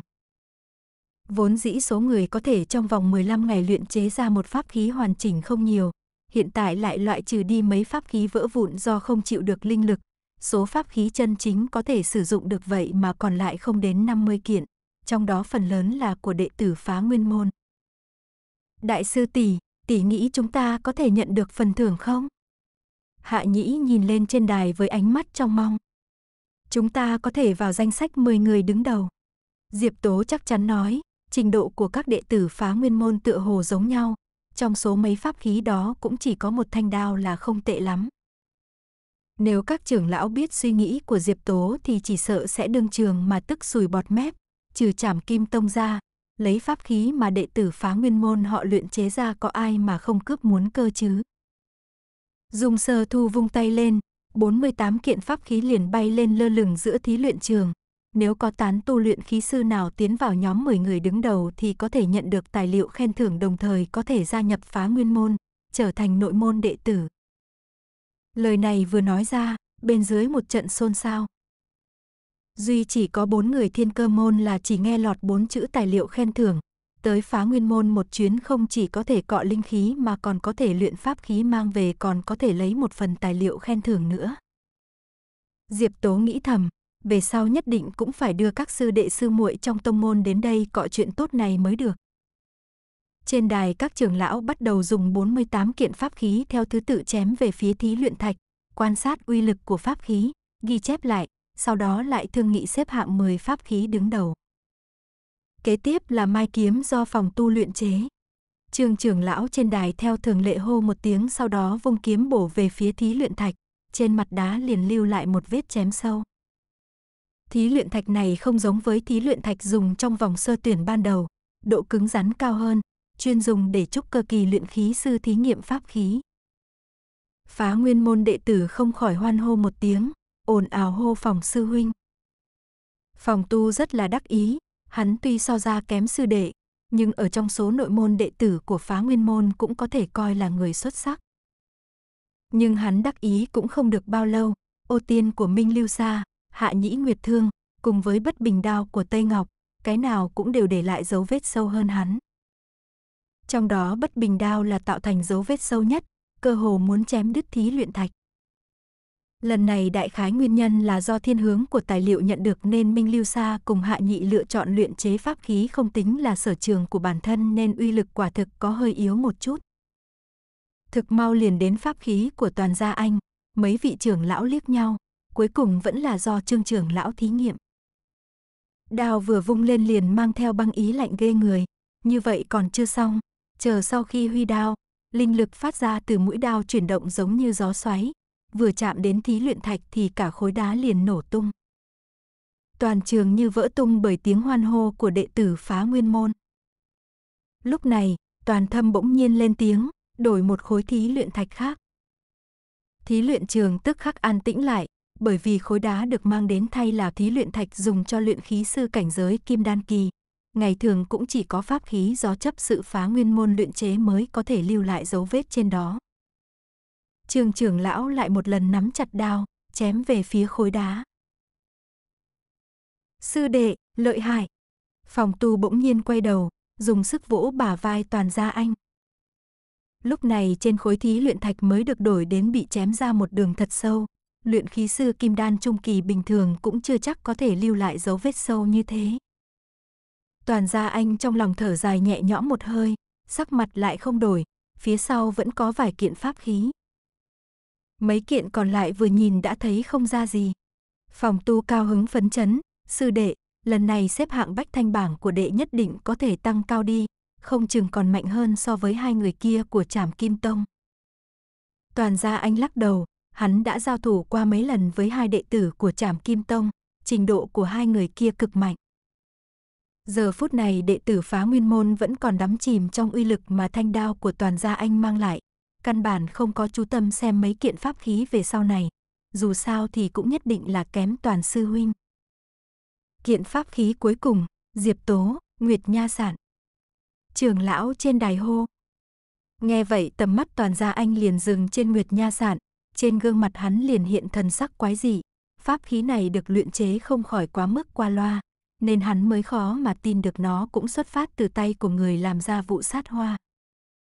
Hắn nghiêng đầu nhìn về phía Diệp Tố trong đám người đằng xa, trình độ rèn của nàng có phải thụt lùi quá nhanh rồi không?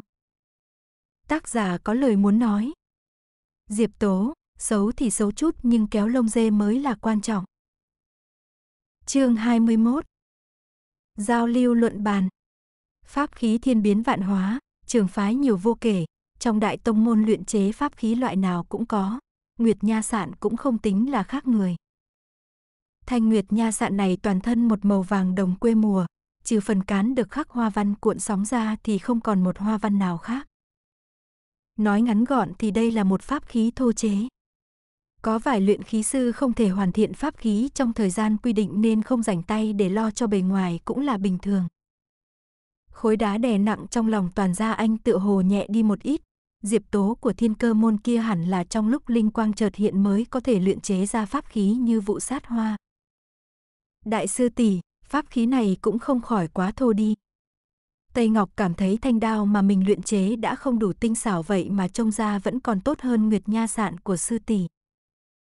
Hai vòng tròn ở trên cũng là pháp khí ư? Minh Lưu Sa liếc mắt một cái liền thấy được điểm bất đồng, hai vòng tròn trên đầu diều to hơn vòng tròn trên Nguyệt Nha Sạn bình thường rất nhiều. Không hổ là nhị sư đệ, rất mẫn cảm với tiểu pháp khí. Diệp Tố cười nói, đúng là có thể gỡ ra dùng riêng. Lúc này Trương Trường Lão đã đâm đầu cong như trăng non của Nguyện Nha Sạn vào thí luyện thạch.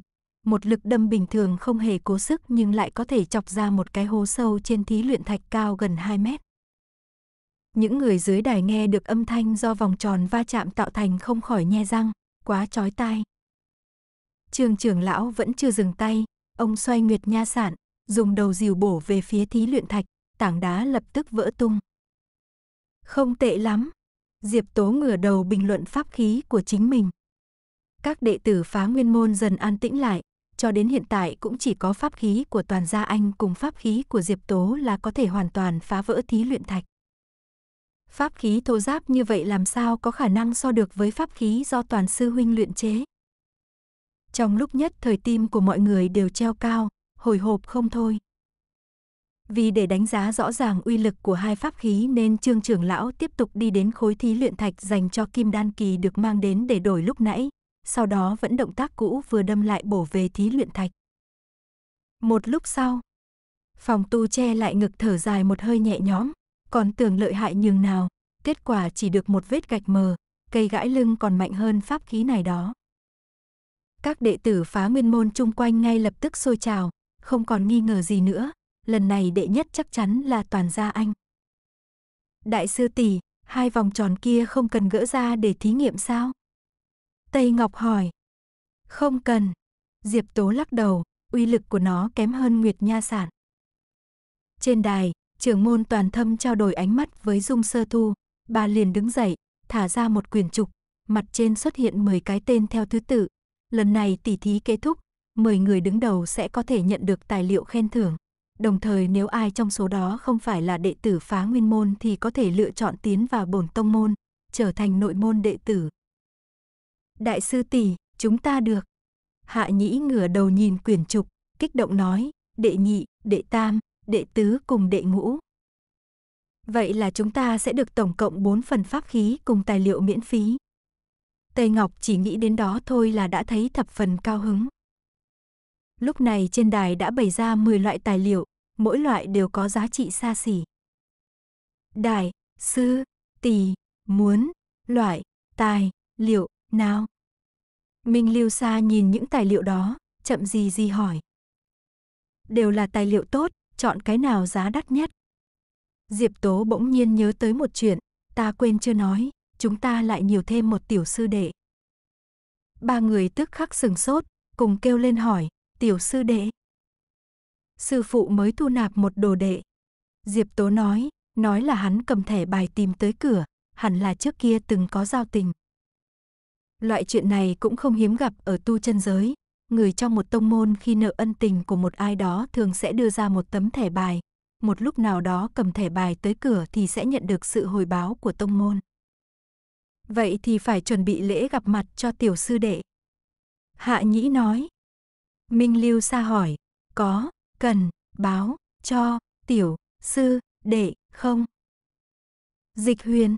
Diệp Tố nghĩ nghĩ nói với nhị sư đệ, đệ báo đi. Nếu để nàng nói thì với tính cách của tiểu sư đệ sợ hắn sẽ lại nghĩ ngợi linh tinh, không chừng sẽ cho rằng mình gấp không chờ nổi muốn tống cổ hắn đi. Lúc này toàn gia anh đã đi lên đài lựa chọn tài liệu, hắn không có hứng thú gì mấy với những tài liệu này, chỉ tùy tay chọn đại một loại. Khi xoay người nhìn về phía bên dưới hắn thấy Diệp Tố đang nói chuyện với sư đệ sư muội của nàng. Hắn không khỏi nhíu mày.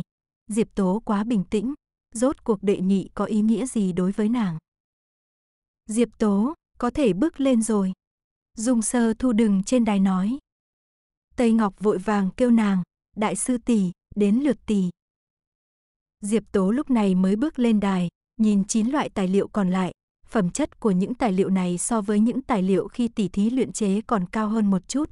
Nàng chọn ra tài liệu đáng giá nhất rồi xoay người đứng thành một hàng với toàn gia anh. Vụ sát hoa của ngươi rất tốt. Toàn gia anh nói chuyện với Diệp Tố nhưng tầm mắt thì nhìn thẳng xuống thí luyện trường. Diệp Tố tùy ý gật đầu, ta biết. Toàn gia anh nghe vậy, quay đầu nhìn về phía nàng, đem nửa câu sau nói hết ra. Nhưng Nguyệt Nha Sạn lần này so với vụ sát hoa thì rất kém cỏi. Cũng không đến mức. Diệp Tố nhướng mày, có thể lấy được đệ nhị, vẫn là một pháp khí đủ tư cách. Toàn gia anh rời đi tầm mắt, trong lòng thất vọng, hắn vẫn cho rằng đối phương ít nhất là một luyện khí sư có chi tiến thủ, không ngờ người này vậy mà cũng có thể luyện chế ra vụ sát hoa. Chờ sau khi những người ở sau cũng đã chọn xong tài liệu theo thứ tự, Dung Sơ Thu lại nói, những người trong nhóm 5 người đầu tiên có thể tự mình lựa chọn trưởng lão làm sư phụ, còn 5 người sau sẽ do các trưởng lão chọn lấy.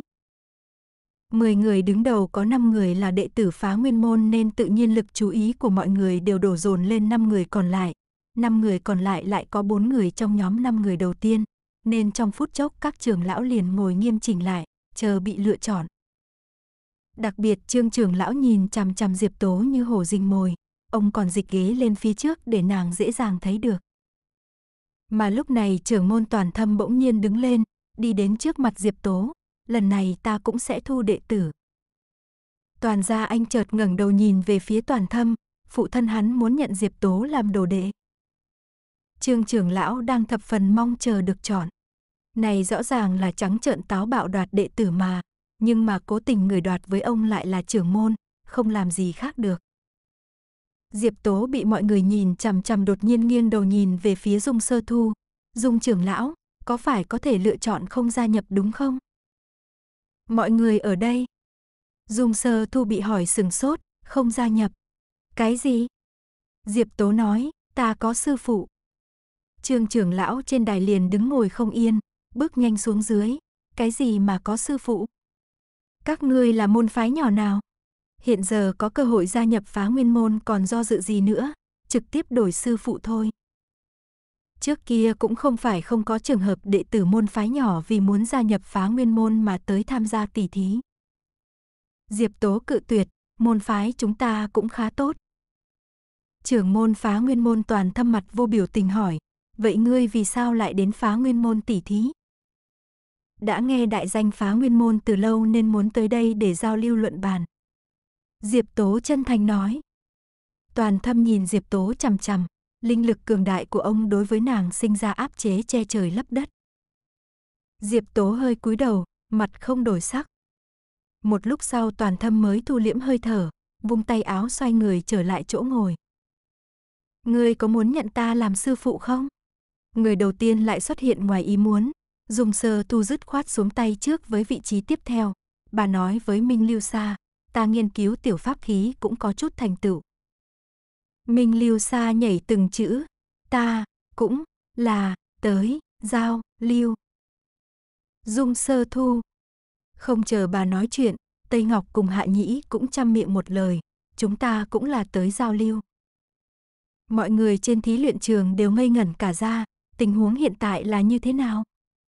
Liên tiếp bốn người đều không muốn gia nhập phá nguyên môn. Ta không phải tới để giao lưu. Tán tu đứng vị trí thứ 9 vội vàng giơ tay nói, các trưởng lão xin hãy chọn ta.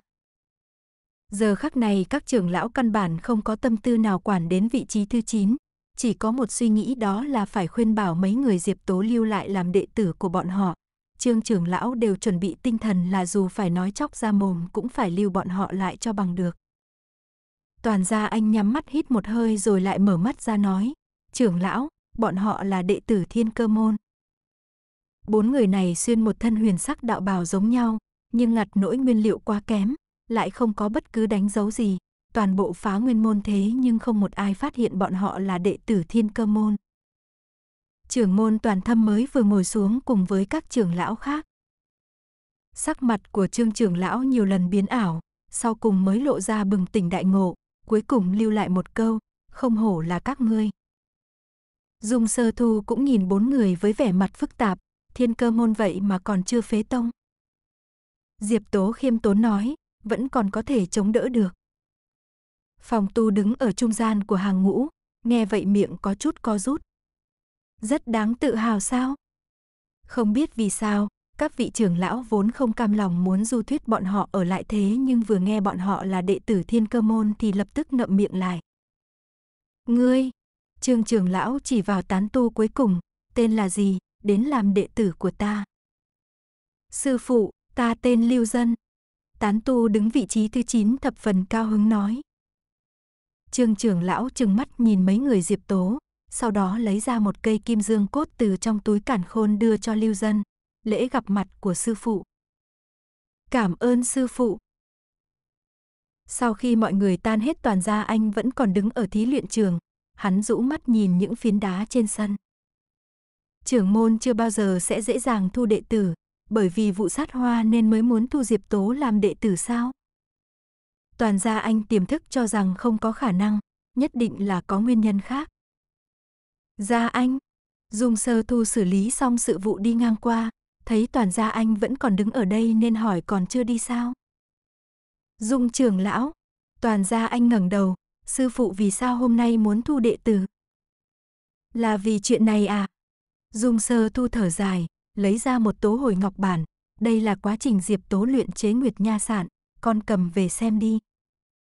Toàn gia anh mang theo tố hồi ngọc bản trở về phòng của mình, xem một lúc lâu sau khó khăn lắm mới hiểu được nguyên nhân, hắn thậm chí bị khí mà cười.